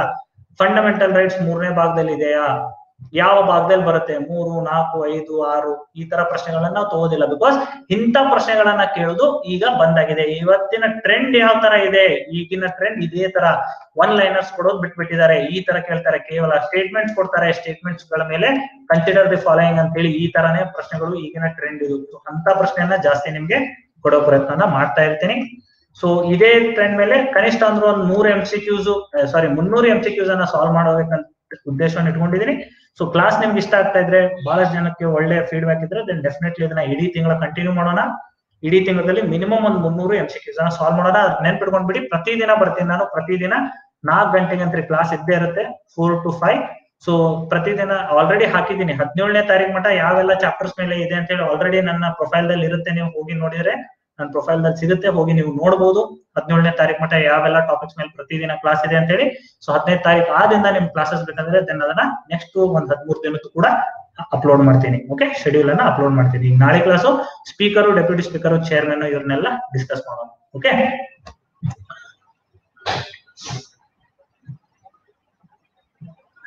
ಡೆಫಿನೆಟ್ಲಿ ಎಕ್ಸ್ಟೆಂಡ್ ಮಾಡೋಣ.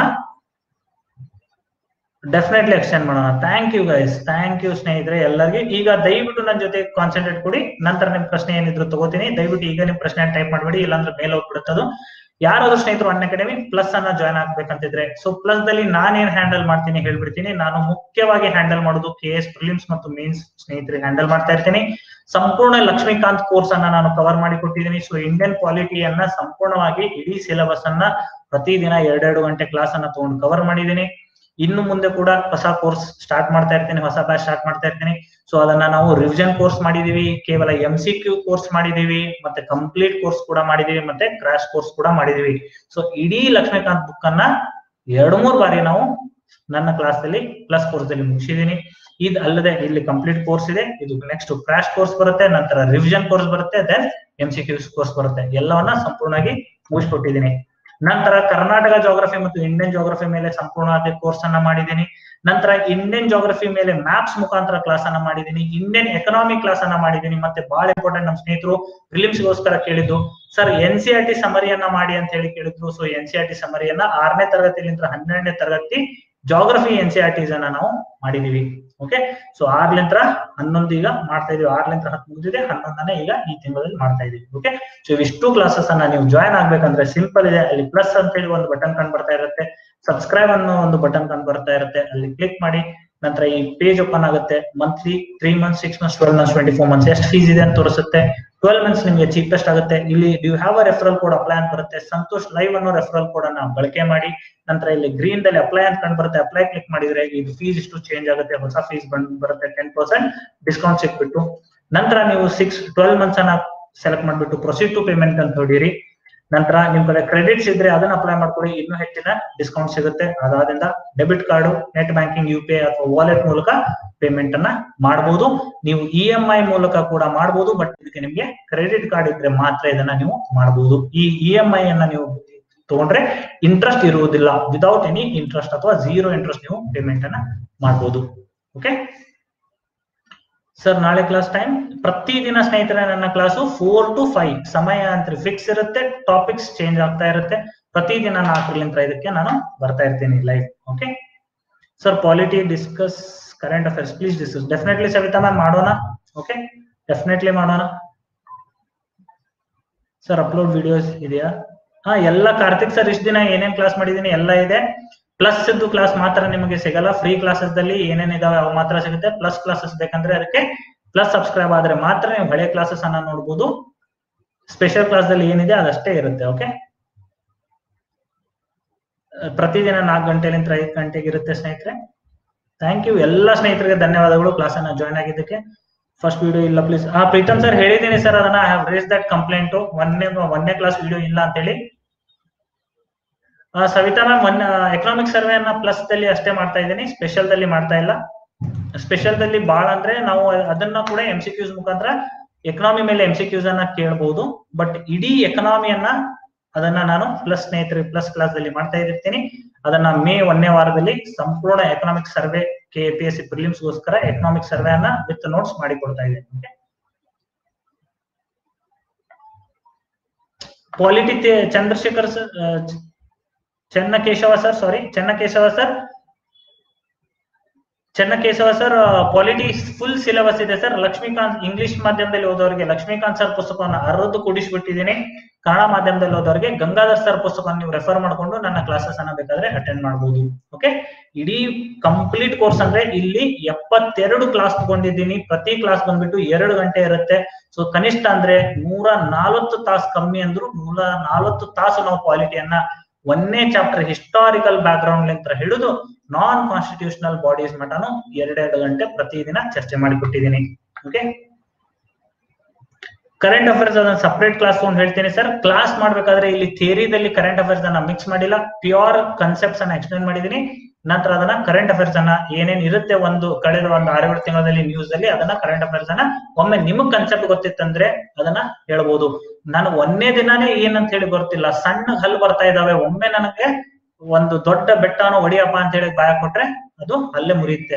ಸೊ ಮೊದಲು ಹಲ್ಲನ್ನ ಕಟ್ ಮಾಡ್ಕೋಬೇಕು. ಅದಕ್ಕೆ ಮೊದಲು ಕನ್ಸೆಪ್ಟ್ಸ್ ಅನ್ನ ಕಟ್ ಮಾಡ್ಕೊಳ್ಳೋಣ, ಆಮೇಲೆ ಒಂದು ದೊಡ್ಡ ಅಡಿಕೆಯನ್ನ ಕೊಡೋಣ. ಹೊಡಿಯಪ್ಪ ಅಂತ ಹೇಳಿ ಆಗ ಹೊಡಿತೀರಾ ಒಂದೇ ದಿನ ಸಣ್ಣ ಹಲ್ ಬರ್ತಿರ್ತವೆ, ಆಗ ಒಂದು ದೊಡ್ಡ ಅಡಿಕೆಯನ್ನ ಕೊಟ್ಟು ಹೊಡಿಯಪ್ಪ ಅಂದ್ರೆ ಹಲ್ಲ ಮುಕ್ಕೋತೀವಿ ನಾವು ಓಕೆ ಸೊ ಅದಕ್ಕೋಸ್ಕರ ಮೊದಲು ಕನ್ಸೆಪ್ಟ್ ಸ್ಟ್ರಾಂಗ್ ಮಾಡ್ಕೊಳ್ಳೋಣ, ನಂತರ ಅದನ್ನ ಡಿಸ್ಕಸ್ ಮಾಡೋಣ ಓಕೆ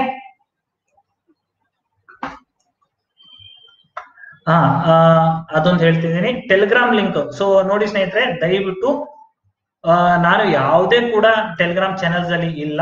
ಓಕೆ ಸೊ ಇವತ್ತು ನಾನು ಬಹಳ ಜನ ನನ್ ಕೇಳ್ತಾ ಇದಾರೆ. ಅದಕ್ಕೋಸ್ಕರ ಇವತ್ತು ಒಂದು ಟೆಲಿಗ್ರಾಮ್ ಚಾನೆಲ್ ನಾನು ಕ್ರಿಯೇಟ್ ಮಾಡ್ತಿದ್ದೀನಿ. ಮಾಡಿ ನಾಳೆ ಕ್ಲಾಸ್ ನಂತರ ಕೊಡ್ತೀನಿ. ಬಟ್ ಮೊಬೈಲ್ ನಂಬರ್ ನಮ್ಗೆ ಕೊಡಕ್ಕೆ ಅನುಮತಿ ಇಲ್ಲ. ಸೊ ದಯವಿಟ್ಟು ಯಾರು ಬೇಜಾರಾಗ್ಬೇಡಿ. ಮೊಬೈಲ್ ನಂಬರ್ ಅನ್ನ ನಮ್ಗೆ ಅನ್ನ ಕಡೆ ವತಿಯಿಂದ ಕೊಡಬೇಡಿ ಅಂತ ಹೇಳಿದಕ್ಕೋಸ್ಕರ ಯಾರಿಗೂ ಕೂಡ ಮೊಬೈಲ್ ನಂಬರ್ ಅನ್ನ ಕೊಡ್ತಿರೋದಿಲ್ಲ. ಬಟ್ ಈ ಟೆಲಿಗ್ರಾಮ್ ನಾನೇ ಒಂದು ನಾಳೆ ಒಂದು ಚಾನೆಲ್ ಕ್ರಿಯೇಟ್ ಮಾಡಿ ಅದರ ಲಿಂಕ್ ಅನ್ನ ಕ್ಲಾಸ್ ದಲ್ಲಿನೇ ಎಲ್ಲರಿಗೂ ಕೊಡ್ತೀನಿ. ಡನ್ ಆಮೇಲೆ ಹೌದು ಸರ್ ನೀವು ಬೇಕಾದ್ರೆ ಒಂದೇ ತಿಂಗಳು ತಗೋಬಹುದು ಒಂದೇ ತಿಂಗಳು ತಗೋಬಹುದು ಒಂದೇ ತಿಂಗಳು ತಗೊಂಡು ಕೂಡ ನೀವು ಹಳೆ ಕ್ಲಾಸಸ್ ಏನೆಲ್ಲ ವ್ಯೂ ಮಾಡಬಹುದು ಬಟ್ ಇದು ನಿಮ್ಗೆ ಸುಮ್ನೆ ಕಾಸ್ಟ್ಲಿ ಆಗುತ್ತೆ ಸರ್ ಬೇಕಾದ್ರೆ ನೀವು ಒಂದ್ ತಿಂಗಳು ಯಾರು ತಗೋರಿ ಅಂದ್ರೆ ನಿಮ್ಗೆ ಏನಾದ್ರು ಕಂಫರ್ಟೇಬಲ್ ಇದೀನಾ ಇಲ್ವಾ ಅಂತ ಹೇಳಿ ನೋಡ್ಕೋಬೇಕಂತಂದ್ರೆ ಆಗ ಒಂದ್ ತಿಂಗಳು ತಗೊಳ್ಳಿ. ನಿಮ್ಗೆ ಆನ್ಲೈನ್ ಓದಕ್ಕೆ ಕಂಫರ್ಟೇಬಲ್ ಇತ್ತಂದ್ರೆ ಒಂದ್ ತಿಂಗಳು ನಿಮ್ಗೆ ಸುಮ್ನೆ ದುಬಾರಿ ಆಗುತ್ತೆ. ಹದಿಮೂರ್ ನೂರು ಮಟ್ಟ ನೀವು ಪೇ ಮಾಡಬೇಕಾಗುತ್ತೆ. ಅದ್ರ ಬದ್ಲಿ ಆರ್ ಸಾವಿರ ರೂಪಾಯಿ ಪೇ ಮಾಡ್ಬಿಟ್ರೆ ಇಡೀ ಒಂದು ವರ್ಷ ನೋಡ್ಬೋದು. ಒಂದು ವರ್ಷ. ಹದಿಮೂರು ನೂರು ಕೇವಲ ಒಂದೇ ತಿಂಗಳ. ಓಕೆ ಒಂದ್ ತಿಂಗಳಲ್ಲಿ ಹಳೆ ಕ್ಲಾಸಸ್ ಅನ್ನ ಅಂತ ನೋಡ್ತೀರಾ ನೀವು? ಡೌನ್ಲೋಡ್ ಅಂದ್ರೆ ಮಾಡ್ಕೊಳಕ್ ಬರಲ್ಲ. ಎಷ್ಟ್ ಅಂತ ಹೇಳಿ ನೋಡ್ತೀರಾ? ಎಷ್ಟು ಜನ ಎಜುಕೇಟರ್ಸ್ ಕ್ಲಾಸ್ ಮಾಡಿರ್ತೀವಿ? Okay thank you survey sir sorry ನಿಮ್ ಹೆಸರು ತಪ್ಪು ಹೇಳಿದ್ದಕ್ಕೆ. ಸರ್ವೆ ಸರ್ವೇರಿ ಶ್ರವೇರಿ ಓಕೆ ಸಾರಿ ಸರ್ ಹೆಸರು ತಪ್ಪು ಹೇಳಿದಕ್ಕೆ but thank you very much sir okay so ಒಂದು ತಿಂಗಳಿಗೆ ಎಷ್ಟಂತ ಹೇಳಿ ನೀವು ಹಿಂದಿನ ಕ್ಲಾಸ್ ಅನ್ನ ನೋಡ್ತೀರಾ? ಸೊ ಒಂದ್ ತಿಂಗಳು ನೋಡ್ತೀರಾ? ಇಂಟ್ರ ಇಂಟ್ರೆಸ್ಟ್ ಬರುತ್ತೆ. ಸೊ ಮತ್ತೆ ಇನ್ನೊಂದು ತಗೋಬೇಕಾದ್ರೆ ಮತ್ತೊಂದ್ ತಿಂಗಳು ತಗೋತೀರಾ? ಸೊ ಈ ತರ ಮಾಡ್ಕೋತ ಹೋದ್ರೆ ನಾಲ್ಕು ತಿಂಗಳಿಗೆ ನೀವು ಆರ್ ಸಾವಿರ ರೂಪಾಯಿ ಕೊಟ್ಬಿಡ್ತೀರಾ ಬರೇ? ಅದ್ರ ಬದಲಿ ಒಟ್ಟಿಗೆ ಆರ್ ಸಾವಿರ ರೂಪಾಯಿ ಪೇ ಮಾಡ್ಬಿಟ್ರೆ ಇಡೀ ಒಂದ್ ವರ್ಷ ನೀವು ಕ್ಲಾಸ್ ಅನ್ನ ಓದ್ಬಹುದು ಸರಿನಾ? ಸೊ ಅದಕ್ಕೋಸ್ಕರ ನೋಡಿ, ಯೋಚನೆ ಮಾಡಿ, ನಿಮ್ಗೆ ಆನ್ಲೈನ್ ಎಷ್ಟು ದಿನ ಏನ್ ಕ್ಲಾಸಸ್ ನೋಡ್ತಿದ್ದೀರಾ? ಸೊ ಆಮೇಲೆ ನಂದು ಒಬ್ಬಂದೇ ಅಲ್ಲ ಅನ್ಯ ಕಡಿಮೆದಲ್ಲಿ ಏನ್ ಇವತ್ತು ಒಂದು ನಾಲ್ಕು ಜನ ಎಜುಕೇಟರ್ಸ್ ಪಾಠವನ್ನು ಮಾಡ್ತಾ ಇರ್ತೀವಿ. ಎಲ್ಲರ ಕ್ಲಾಸ್ ಅನ್ನ ನೀವು ಅಟೆಂಡ್ ಮಾಡಬಹುದು ಡನ್ ನಂದು ಒಬ್ಬಂದೇ ಅಲ್ಲ, ಎಲ್ಲರ ಕ್ಲಾಸ್ ಅನ್ನ ಹಳೆ ಕ್ಲಾಸ್ ಆಗಿರ್ಬೋದು, ಇನ್ ಮುಂದೆ ಮಾಡುವ ಎಲ್ಲ ಕ್ಲಾಸ್ ಅನ್ನ ಕೂಡ ಅಟೆಂಡ್ ಮಾಡಬಹುದು ಸೊ ಡೆಫಿನೆಟ್ಲಿ ಎನ್ ಅಕಾಡೆಮಿ ಪ್ಲಸ್ಗೆ ಜಾಯ್ನ್ ಆಗಿ ರೆಫರಲ್ ಕೋಡ್ ಕೊಟ್ಟಿದ್ದೀನಿ. ಸಂತೋಷ್ ಲೈವ್ ಇದನ್ನ ಬಳಕೆ ಮಾಡ್ಕೊಳ್ಳಿ. Okay thank you very much thank you ಸ್ನೇಹಿತರೆ. ನೀವು ಇದೇ ತರ ಪ್ರೋತ್ಸಾಹ ಕೊಡ್ತಾ ಇರಿ. ಇನ್ನೂ ಚಂದ ಚಂದ ಚಂದ ಕ್ಲಾಸ್ ಅನ್ನ ನಿಮ್ಗೋಸ್ಕರ ತರ್ತಾ ಇರ್ತೀನಿ. ಡನ್ ಡನ್ ಇನ್ ಕೇಸ್ ನಿಮ್ಗೆ ಯಾವ್ದಾದ್ರು ಇಂಪಾರ್ಟೆಂಟ್ ಟಾಪಿಕ್ಸ್ ಬಹಳಷ್ಟು ಜನ ಇವತ್ತು ಆರ್ಡಿನೆನ್ಸ್ ಮೇಲೆ ಕೇಳಿದ್ರು. ಸೊ ಮೊದಲು ಒಮ್ಮೆ ಎಂ ಸಿ ಕ್ಯೂಸ್ ಮುಗಿಸ್ಬಿಡೋಣ. ಒಂದು ಮುನ್ನೂರು ಮುನ್ನೂರ ಐವತ್ತು ಎಂ ಸಿ ಕ್ಯೂಸ್ ಅನ್ನ ಮುಗಿಸೋಣ. ಇದಾದ ನಿಮ್ಗೆ ಪ್ರಮುಖವಾದ ಇಂಪಾರ್ಟೆಂಟ್ ಟಾಪಿಕ್ಸ್ ಮೇಲೆ ಚರ್ಚೆ ಬೇಕಂದ್ರೆ, ಇವಾಗ ಆರ್ಡಿನೆನ್ಸ್ ಮೇಲೆ ವಿಟೋ ಪವರ್ ಮೇಲೆ ಇಂಪೀಚ್ಮೆಂಟ್ ಪ್ರಕ್ರಿಯೆ ಬಗ್ಗೆ ಪಾರ್ಲಿಮೆಂಟರಿ ಪ್ರೊಸೀಜರ್ ಬಗ್ಗೆ, ಈ ತರ ಕೆಲವೊಂದು ಇಂಪಾರ್ಟೆಂಟ್ ಟಾಪಿಕ್ಸ್ ಇದಾವೆ ಮನಿ ಬಿಲ್ ಬಗ್ಗೆ. ಸೊ ಇಂಥ ಎಲ್ಲ ಇಂಪಾರ್ಟೆಂಟ್ ಟಾಪಿಕ್ಸ್ ಮೇಲೆ ನಿಮ್ಗೂ ಕೂಡ ಕ್ಲಾಸ್ ಬೇಕಂದ್ರೆ ಅದನ್ನ ಕೂಡ ಸ್ಪೆಷಲ್ ಕ್ಲಾಸ್ ಅಲ್ಲಿ ಮಾಡೋಣ. ಬಟ್ ಇಡೀ ಸಿಲೆಬಸ್ ಬೇಕಂದ್ರೆ ಅದು ನಿಮ್ಗೆ ಪ್ಲಸ್ ದಲ್ಲಿ ಅವೈಲೇಬಲ್ ಇರುತ್ತೆ. ದಯವಿಟ್ಟು ಒಮ್ಮೆ ಪ್ಲಸ್ ಜಾಯ್ನ್ ಆಗಿ ಅದ್ರ ಉಪಯೋಗನ ಡೆಫಿನೆಟ್ಲಿ ಪಡೀರಿ. ಇದಕ್ಕಿಂತ ಸಸ್ತ ಏನಿಲ್ಲ. ಒಂದ್ ದಿನಕ್ಕೆ ನೀವ್ ಏನಾದ್ರು ಒಂದ್ ವರ್ಷದ ಪ್ಯಾಕೇಜ್ ತಗೊಂಡ್ರೆ ಹದಿನೇಳಿಂದ ಇಪ್ಪತ್ ರೂಪಾಯಿ ಬೀಳುತ್ತೆ ನಿಮ್ಗೆ ಒಂದ್ ದಿನಕ್ಕೆ ಅಷ್ಟೇ. ಓಕೆ ಸೊ ಎರಡ್ ಸತ ಚಾ ಕುಡಿದ್ ಬಿಟ್ರೆ ನಿಮ್ಗೆ ಇಡೀ ಒಂದ್ ವರ್ಷಕ್ಕೆ ಟ್ಯೂಷನ್ ಫೀಸ್ ಆಗುತ್ತೆ ಓಕೆ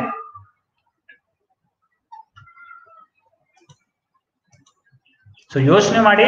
ಬಹಳ ಒಳ್ಳೆ ಇದು ಆಫರ್ ಇದೆ. ಸೊ ದಯವಿಟ್ಟು ಅದರ ಉಪಯೋಗವನ್ನ ಪಡೀರಿ. ಸೊ ನಾಳೆ ಮತ್ತೆ ಮೀಟ್ ಆಗೋಣ. ನಾಳೆ ಕ್ಲಾಸ್ ಹಾಕಿದ್ದೀನಿ. ನಾಳೆ ಅಗೇನ್ ಫೋರ್ ಪ್ರತಿದಿನ four to five will start thank you Suresha sir thank you very much Suresha sir okay ಧನ್ಯವಾದಗಳು for that appreciation four to five P M definitely will start our class ನಾಳೆ. Okay have a wonderful day ಸ್ನೇಹಿತರೆ. ಪ್ರತಿದಿನ ಹೇಳುವಾಗೆ ದಯವಿಟ್ಟು ಯಾರು ಆಚೆ ಹೋಗ್ಬಿಡಿ. ಇನ್ನು ಎರಡು ವಾರ ಇದೆ. ಎಲ್ಲರೂ ಮನೆಯಲ್ಲಿರೋಣ ಆರಾಮಾಗಿರೋಣ. ನಾವು ಒಬ್ರು ಹೊರಗೆ ಹೋಗ್ಲಿಲ್ಲ ಅಂದ್ರೆ ನಾವು ಸುರಕ್ಷವಾಗಿರ್ತೀವಿ. ನಮ್ಮ ಕುಟುಂಬ ಕೂಡ ಸುರಕ್ಷಿತವಾಗಿರುತ್ತೆ. ದಯವಿಟ್ಟು ಯಾರು ಹೊರಗಡೆ ಹೋಗ್ಬೇಡಿ. Okay thank you very much have a wonderful day ನಾಳೆ ಮತ್ತೆ ನಾಲ್ಕು ಗಂಟೆಗೆ ಸಿಗೋಣ. ಬಾಯ್